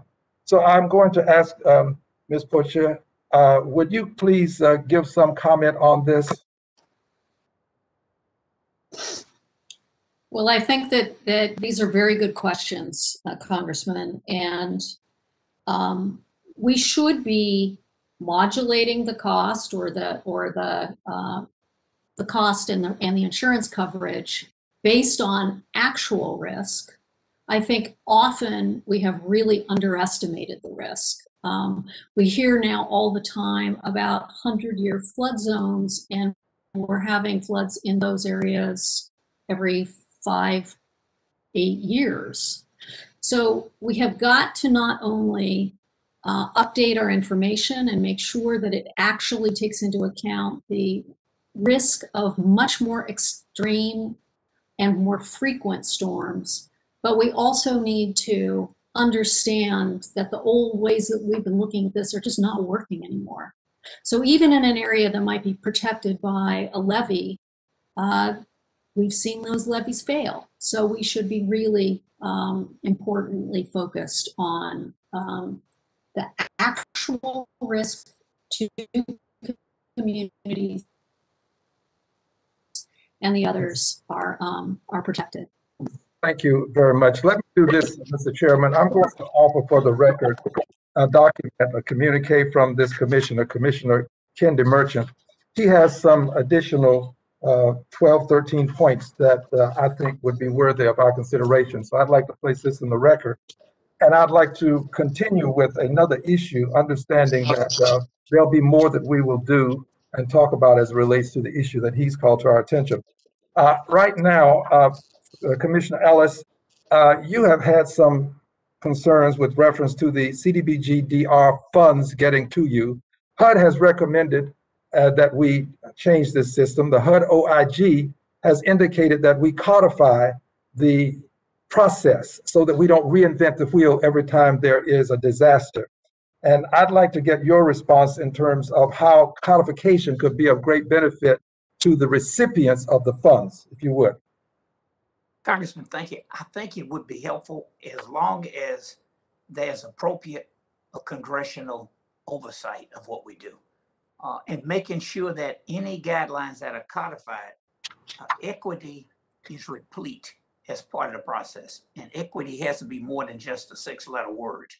Uh, obviously, on my level, we prefer you do a direct allocation to us so we don't have to argue about the administrative costs uh, with our state partners.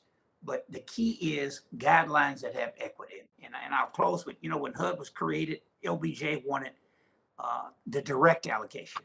Cities and counties wanted the block grant approach, but oftentimes they have not, we have not been as equitable in how we spend the money. That HUD money was directed for the most vulnerable among us. That's why it was created.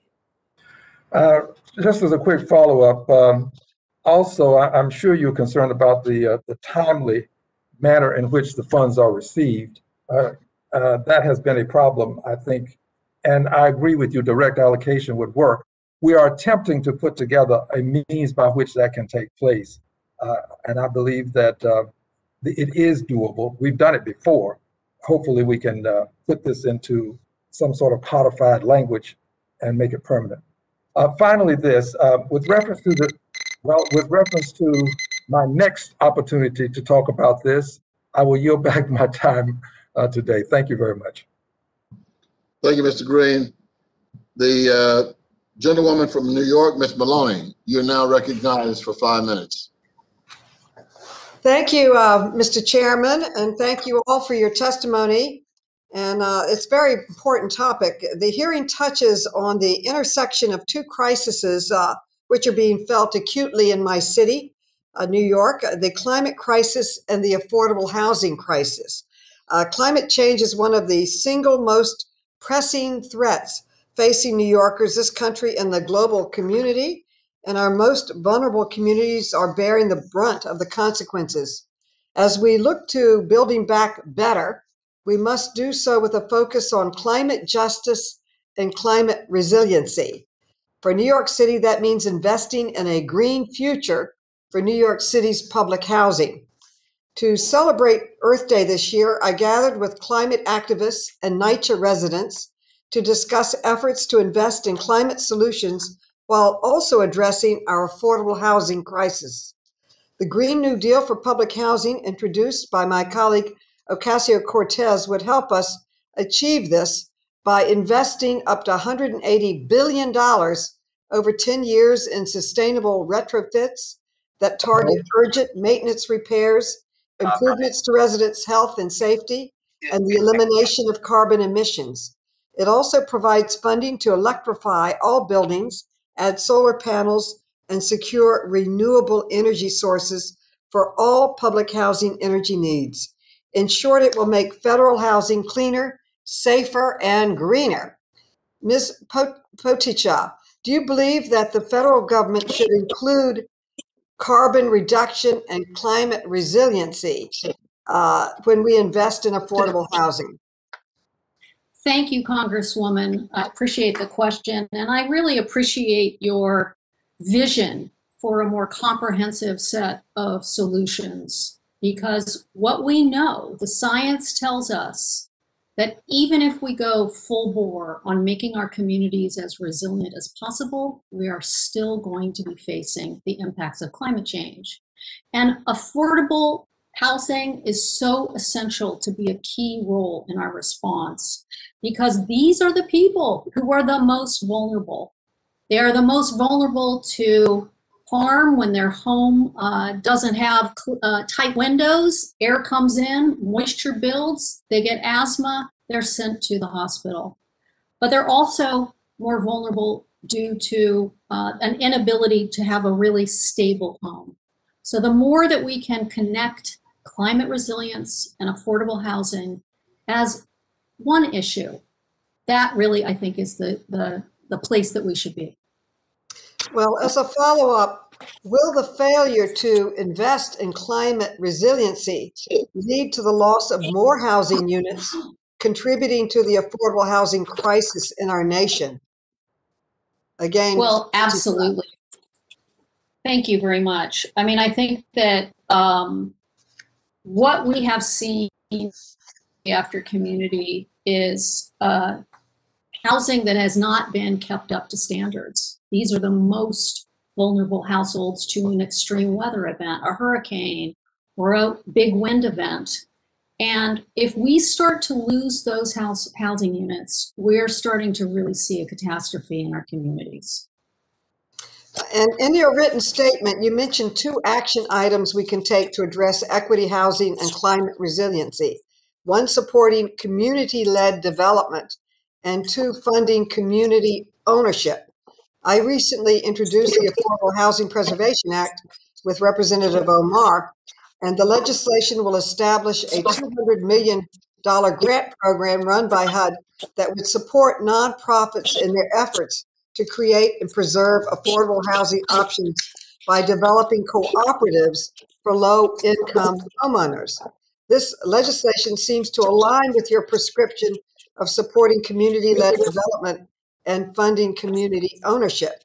Can you elaborate on how these two principles are important for addressing climate, equity, and housing? Yes, thank you for that question. Um, community led development and funding community ownership really help ensure that communities can continue to reverse the legacy of uh, disinvestment and segregation from our policies and instead allow people to lead the response in their own way. They want the agency to be able to design their futures. So thank you. My time has expired. I yield back. Thank you so much, Mr. Chairman, for calling this important hearing and all the panelists. Thank you. Thank you, Ms. Maloney. Uh, would anyone who uh, may not, um, who may have the, the, the mute button on, please uh, uh, turn it off? Uh, there's some feedback coming in. Uh, thank you very much. Uh, Mr. Vargas of California, you are now recognized for five minutes. Uh, Thank you very much, Mr. Chairman. First, I want to thank you for holding this hearing. I think it's been an excellent hearing and, and, and very provocative in many ways. I also want to thank, and I would be remiss if I didn't thank General Stivers for his service both uh, to the military and to Congress. Uh, You really are an asset, uh, and we will miss you deeply. Uh, Everyone respects you deeply. Thank you. Um, I also would like to meet in person, you know, and, and uh, I, again, uh, would echo the, the, the, the same remarks as Ms. Beatty. Get vaccinated. Tell uh, Mr. Taylor, tell your uh, colleagues, please get vaccinated so we can meet in person again. I think it is important, and it's also science. And, and since I mentioned science, I mean, it, it is interesting. For many years, I've argued the point of climate change with my colleagues uh, on the Republican side. And I would always, unfortunately, get to the, the point where they would make the point about cows flagellating and how that also is climate change. The, well, the reality is it's not. It's ex, an existential threat, and and we have to do something about it. And I think that uh, now we're all taking it seriously. I hope we are, and we're going to do something about it. But something also that came up here that I think we have to take seriously is uh, not building in areas that we know are going to be prone to flooding and also fires. Fires haven't been mentioned. Here in California, we're building more and more in fire-prone areas. It does doesn't make sense.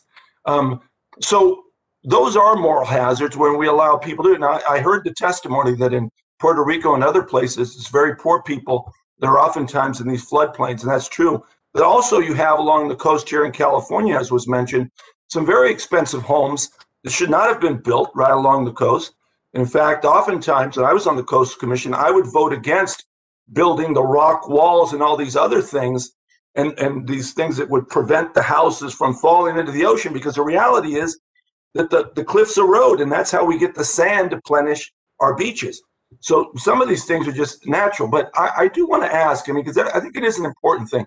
Why, why do we continue to allow the building in these dangerous places? I think a lot of us would would agree that you know it's important not to do that. I, and, and, it's controversial because on both sides there's there's reasons to be against it or in favor.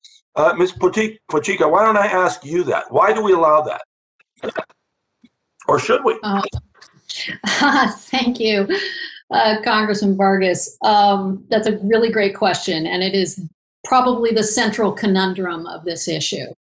Um, we have a tradition in the US of, of local control and letting communities make their own decisions. And yet, often the science is telling us that the way that we built in the past is not going to do us very well going forward. And so, we really do need to create incentives to move people out of harm's way and make them more resilient. Uh, and so, I, I applaud your uh, experiences on the California Coastal Commission. I think it's a very challenging issue. And maybe the only real way to do that is through um, creating a carrot that is so sweet and tasty that it promulgates change. Okay. Uh, Mr. El- uh, Commissioner Ellis, I don't know you, but you um, are very well respected, obviously, by everybody. That's a tough question. How about you? I know that you know, a lot of places there, I imagine people don't want to move, but they probably should. What should we do? Congressman, I, I think it's a, a lack of political will to do it. And obviously, if we're talking about neighborhoods where they have more money, they're more fluent, more political clout, it's even more difficult. You know, separate issue, but you know, we run highways through neighborhoods and take out poor areas all the time. Uh, Yeah. So there ought to be some equity there when we do it, and there ought to be some consequences. The carrot approach does work, but at some point you got to have a little bit of a stick. Uh, and you know what, what, look, by the way, I represent the energy capital of the world. And I know if I want to remain the energy capital, that means we've got to diversify uh, those Right. sources of energy. But look, it's a lack of political will, and we ought to stop it. It's just wrong. Would anyone else like to comment in my last 35 seconds? Certainly. Uh, Thank you for the question, uh, Vargas. Uh, In Puerto Rico, we are not asking for people to be living in risk zones. What we are saying is that relocation should never be the first option. Uh, Like, to clarify the scope of CDBGDR, if you're a person living in a flood zone and you don't have a formal title, circumstances that all, uh, that usually come together, you have no options, no incentives, no aid under CDBGDR because of locally imposed guidelines. What we're saying is that mitigation is often unequal. So uh, we are promoting tourism's uh, hotel building, and at the same time, we're saying people, poor people, you can't live there. So we're asking for equitable mitigation and sensible relocation and incentives policy. Thank you very much. I know the gentleman's almost out of time. Would the gentleman yield for one second? Uh, I am out of time, but I'd certainly yield to you, General, of course. Well, I, I would just uh, ask, since you're the third member that's brought it up, that uh, the members of the majority go to the uh, chairwoman and ask her to survey to see who's been vaccinated. I don't think there's any members of either side of the aisle on this committee that have not been vaccinated. And maybe we can, can meet in person again if the chairwoman would be willing to survey the members to see who's been vaccinated. Uh, I- I believe the members on our side of the aisle haven't been vaccinated. So after having that come up a couple times, I figured I'd just put in that plug. It's my last. Uh, Will you come back for it, General? So I can say something like that. I yield back. to the. Thank you very much. I yield back. I, I will deliver those uh, comments, uh, uh, Mr. Stivers, to the uh, chairwoman. Uh, The uh, the gentleman from Florida, Mr. Lawson, you're now recognized for five minutes. Uh, thank you, Mr. Chairman, and thank you for holding this, uh, meeting. Uh, my question is gonna be to the whole panel, uh, for each one of them to, uh, comment on it. Uh, in twenty eighteen, the Trump administration did not activate FEMA Disaster Housing Assistance Program after Hurricane Harvey, Irma, and Maria.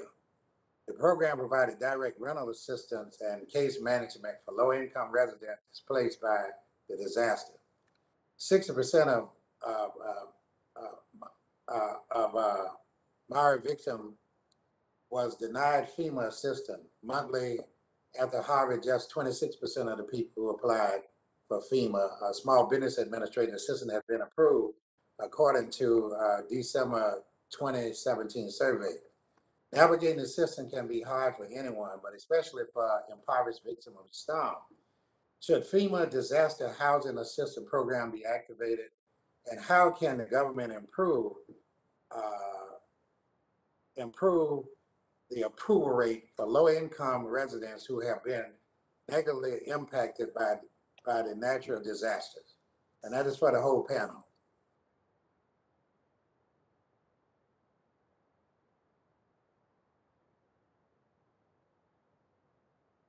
Is anyone on the panel want to respond? if I'm- If if I might, this is Ro- Rodney Ellis out of Houston, Harris County. I think, yes, it should be activated.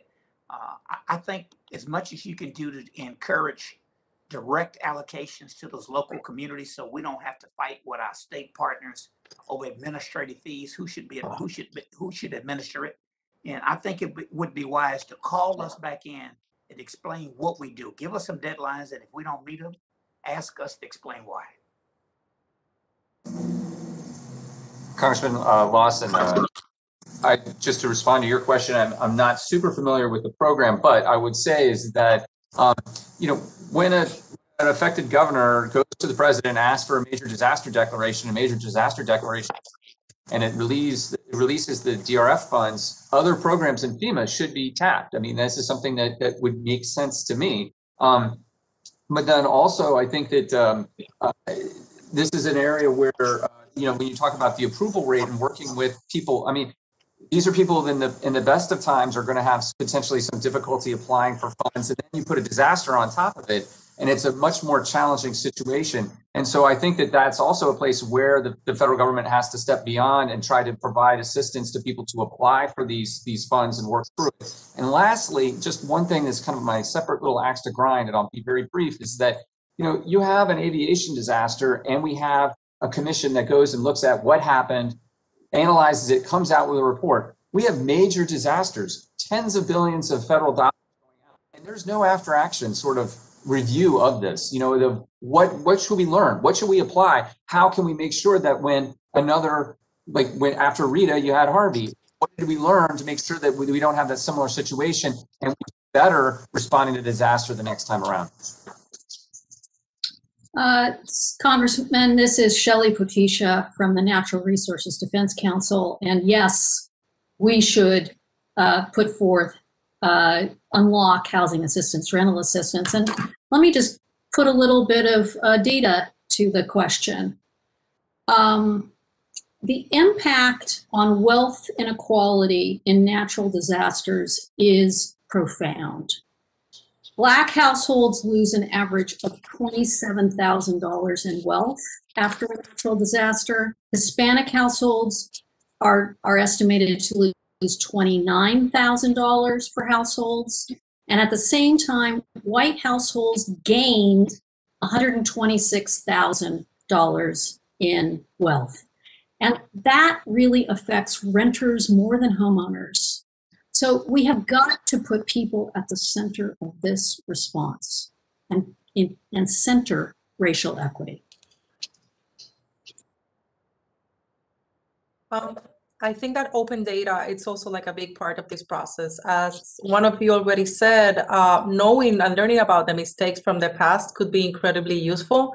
In our case, like learning reasons for denials, basis for denials was extremely hard, and we had to present several FOIAs just to realize that um, ownership or like lack of an official address were being reasons. Um, also, we think that in the aftermath of a disaster, requesting people to access an application only using the internet or only using a telephone when there's no light and no telephones, uh, it's also a hindrance, uh, uh, an obstacle. Mr. Chairman, I, Mr. Chairman, I'll give back, but this is a big issue, especially in Florida, where we have a lot of hurricanes, and there's something need to be done about that. And I, I agree with Mr. Ellis and, uh, and, everyone who has spoken on this, but this is a big issue that we need to resolve. We do it for everybody else, but we don't do it for people in need, uh, losing all of their income and everything else because of these hurricanes. With that, I yield back, Mr. Chairman. Thank you, Mr. Lawson.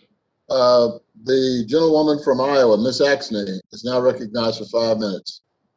Thank you, Chairman, and thank you to the witnesses for being here. I'm, I'm glad we're having this hearing actually so that we can better protect people's homes from disasters and climate change, which of course my colleague just mentioned in his own district, and we're um, we're seeing it here, of course, in Iowa.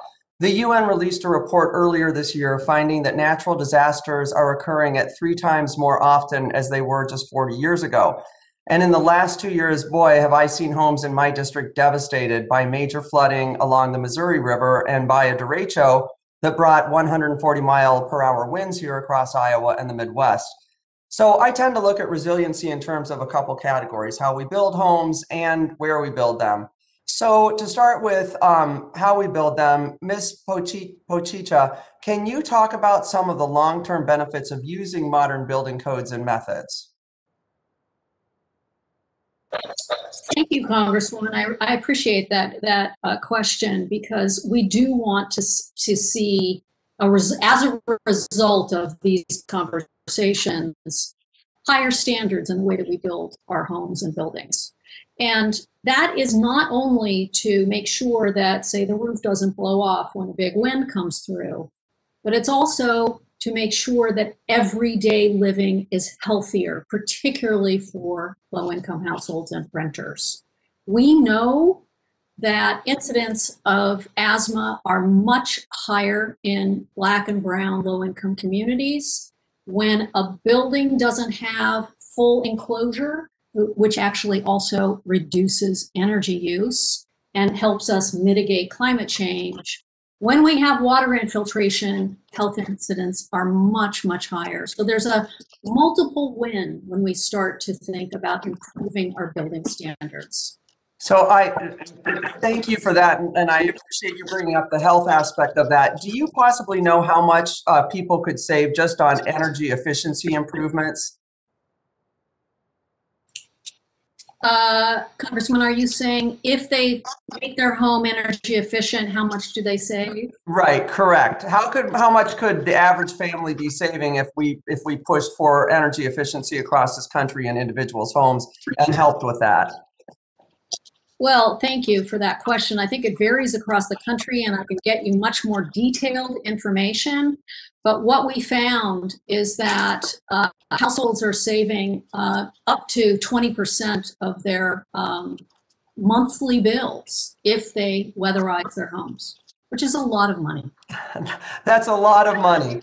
Um, thank you for that. Uh, I think it's pretty clear that there's a heck of a lot of room for improvement there um, in helping American families reduce their expenses through more energy efficient homes. Um, I'm wondering, Mr. Mais, are those improvements something that does uh, or should be included in insurance rates? Thank you, Congresswoman. And, you know, as insurance regulators, we support whatever efforts can be made to incentivize mitigation and to reduce, you know, and to increase resilience, reduce the damage that uh, any catastrophe can cause. And this is something we've been working on. As I mentioned, we've been, we were, we had a recent uh, workshop with IBHS looking, trying to look at cost benefit metrics as we look at what it takes to be able to have resilient housing. It's important, I think, if we look at, forget Congress, I think it's important for Congress to do what it can, incentivize states, help FEMA fully fund its mitigation program. You, you just homeowners, a homeowner like myself, the NAIC did a study. Uh, we did a survey last that was published the start of uh, April. This is May, and they asked homeowners, just your regular average homeowners across the country, would they be willing to invest their own money to protect against, uh, you know, to, to to mitigate any damages, to increase resiliency, and perhaps to get a reduction in their insurance costs. And you, if you take a look on it, you will be stunned at how many homeowners want to do that. I think the need is there, the understanding is there. And we as insurance regulators are working with industry and working with academia to see what we can do to ensure that these building codes, A, are best done as strongly as possible to preserve the housing stock, and B, that any savings are recognized by those households that actually take advantage of uh, resiliency measures. Well, thank you. And real quickly, I want to get in here uh, on my colleague Lawson's uh, same kind of thinking there. I've got folks who are still waiting to make sure that they can get their funding and get bought out in this district. Are there ways that you all think we could better serve constituents through FEMA? Well, yeah, why don't you answer, uh, uh, Mr. Mais? Uh, the, uh, the time is out. Uh, why don't you go ahead and respond? If that were directed at me, I'm perhaps not the person to answer that as a state insurance regulator. That's a federal issue. It's an issue of federal policy. And I just don't feel it's, it's within my purview as a state insurance regulator to respond to that. Any other uh, folks on the panel that would like to respond? This is Rodney Ellis. Any, any additional money that goes into uh, the buyouts would be helpful. Voluntary buyouts helps give people a, a price that would incentivize them to, uh, to make the move. Thank you. Thank you, Ms. Axne. Uh, the gentleman from New York, Mr. Torres, is now recognized for five minutes. Thank you, Mr. Chair. Uh, the destruction of property at the hands of climate change is as much a human disaster as it is a natural disaster. Uh, decisions about the design, construction, and siting often determines the extent of the property damage caused by a climate event. Take as an example the varied impact of California's 2018 wildfires.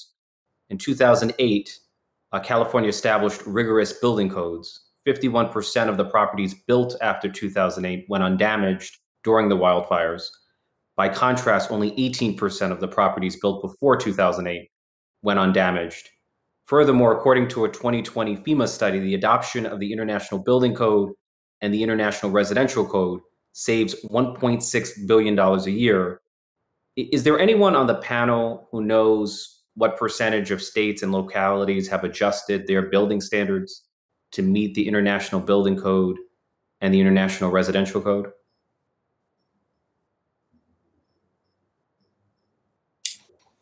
Congressman Torres, this is Shelley Poticha. I would be happy to get back with you on that information. I, I, I don't have it at my fingertips right now.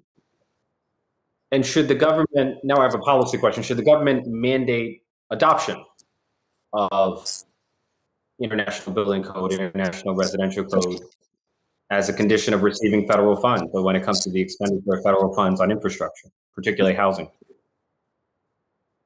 Are you directing that at me? Um, Yes. Okay.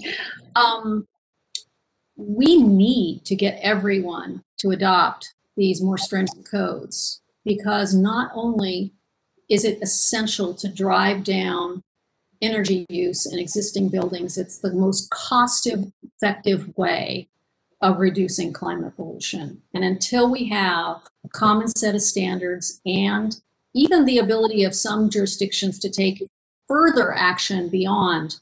I do uh, work in San Jose, which has adopted a very, um, very aggressive building code standard, net zero. Um, we need to do this in order to meet our climate challenge. I, I can't state how urgent this is.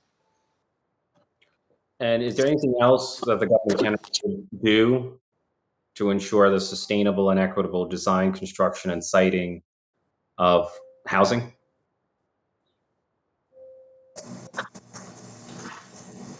Well, I think, Oh, sorry. please go ahead, Steve. Um, Congressman, I, I think that it, it really, if you look at how much money is going out the door by the federal government, there needs to be greater strings attached. I mean, essentially, the, the communities and homeowners and states have to do their part as well if they're expecting Uncle Sam and, and citizens around the country to do their part. So I have no problems of tying strings to federal assistance uh, to actually have stronger building codes and build back um, in ways that are more resilient and less vulnerable. Um, and so I think that is a is a critical area. And if a community or, or individual doesn't want to do that, don't take the money. But apart from the, apart from the adoption of the International Building Code and the International Residential Code, what strings should we attach to the expenditure of federal funds?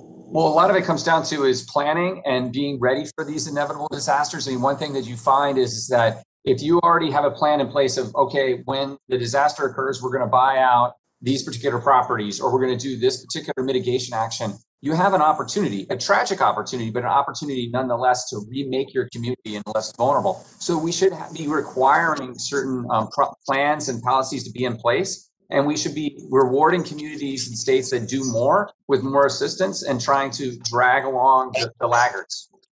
If I could just build on that, um, I would also say that communities need resources to engage uh, with leaders in the community to get ahead of a disaster and plan in a proactive way. That's why I focus on community led low carbon development, because if you have an ability to get uh, the community engaged in order to prevent the damage that is likely to happen, uh, that can do a lot.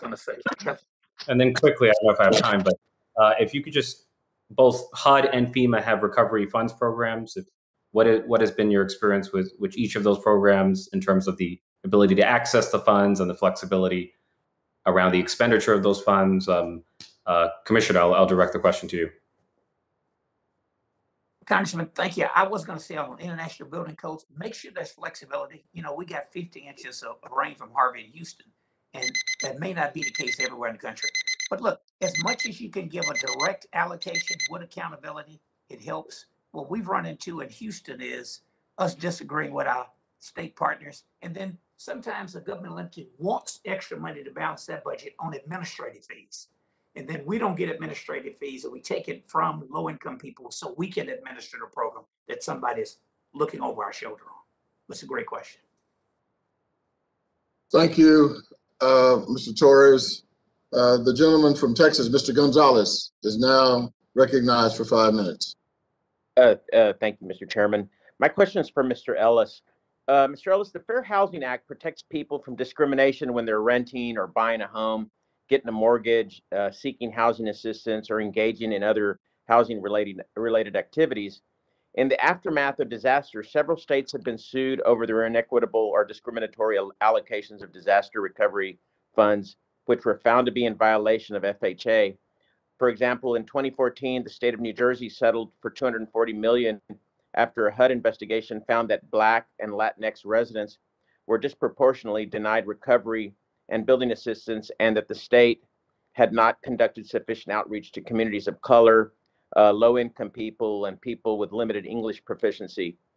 How does Harris County, Mr. Ellis, how does Harris County work with the state of Texas to ensure that fair housing uh, planning and disaster recovery planning go hand in hand? Congressman, thank you. It, it's a, it's a big, a challenge. Uh, We have asked our legal department, we've tasked them with making sure that they try and root out any vestiges of discrimination. I mentioned earlier, in Texas, we still have that uh, requirement in state law that you get points based on whether or not local officials sign off on putting housing in a certain neighborhoods. So it's a big problem. The NIMBY issue is there. I don't think there's as much sensitivity on the state level uh, as there is in local communities. But look, I welcome the renewed interest in fair housing on the federal level, particularly from the new Secretary of HUD. I think it's a good thing. Even for those of us who want to do the right thing, it's a challenge in certain neighborhoods. And it's good when we can say, you told us we had to do it or we'll get sued. Yeah. What is what is uh, Harris County's latest assessment of fair housing show are the biggest impediments to fair housing, and and what is it and what does the county work to mitigate those issues in the administration of CDBG grants funds? Well, start with that uh, requirement that you've got to get sign off uh, from other elected officials. It's also a big challenge for us uh, in disputes with our state partners on this one bedroom, two bedroom policy. You know, if uh, you go in and a house had three bedrooms built and there are only two people left in it, it's the largest investment that family has. GLO is taking the position that you can only go back with two bedrooms. City of Houston decided to put local dollars up to match it. We've not done that Wow. on the county level. We're gonna go back and appeal to uh, HUD to overrule the GLO on it. I mentioned earlier when your colleagues asked why were they doing it. I think the chairwoman asked. I think it's because they were worried there wouldn't be enough funds to go around. But it's a big problem in Harris County and other areas. Other big problem for us is protecting the investments you all have given us in housing. So we assume in our region, we got about a billion for the city, a billion, city of Houston, billion dollars for the county uh, for housing. We would assume we should get a comparable amount out of CDBG mitigation funds to go and protect uh, that housing. Uh, But so there are a lot of challenges there. Any oversight you all give us, Congressman, any questions you all ask of HUD and on to the GLO will be helpful. Thank you, and I yield and I yield back. Thank you so much. Uh, Thank you, Mr. Gonzalez. Uh, Let me uh, thank all of our witnesses uh, for their testimony today. This has been a very enlightening uh, hearing. And uh, without uh, any objections, all members will have five legislative days within which to submit additional written questions for the witnesses to the chair, which will be forwarded to the witnesses for their response. I ask our witnesses to please respond as promptly as you are able. Uh, Without objection, all members will have five legislative days within which to uh, submit extraneous uh, materials to the chair for inclusion in the record. Uh, I remind members that written questions and materials for the record should be submitted to email address provided to your offices. Uh, Unless there's any additional information to come before the committee, uh, this uh, hearing is now adjourned.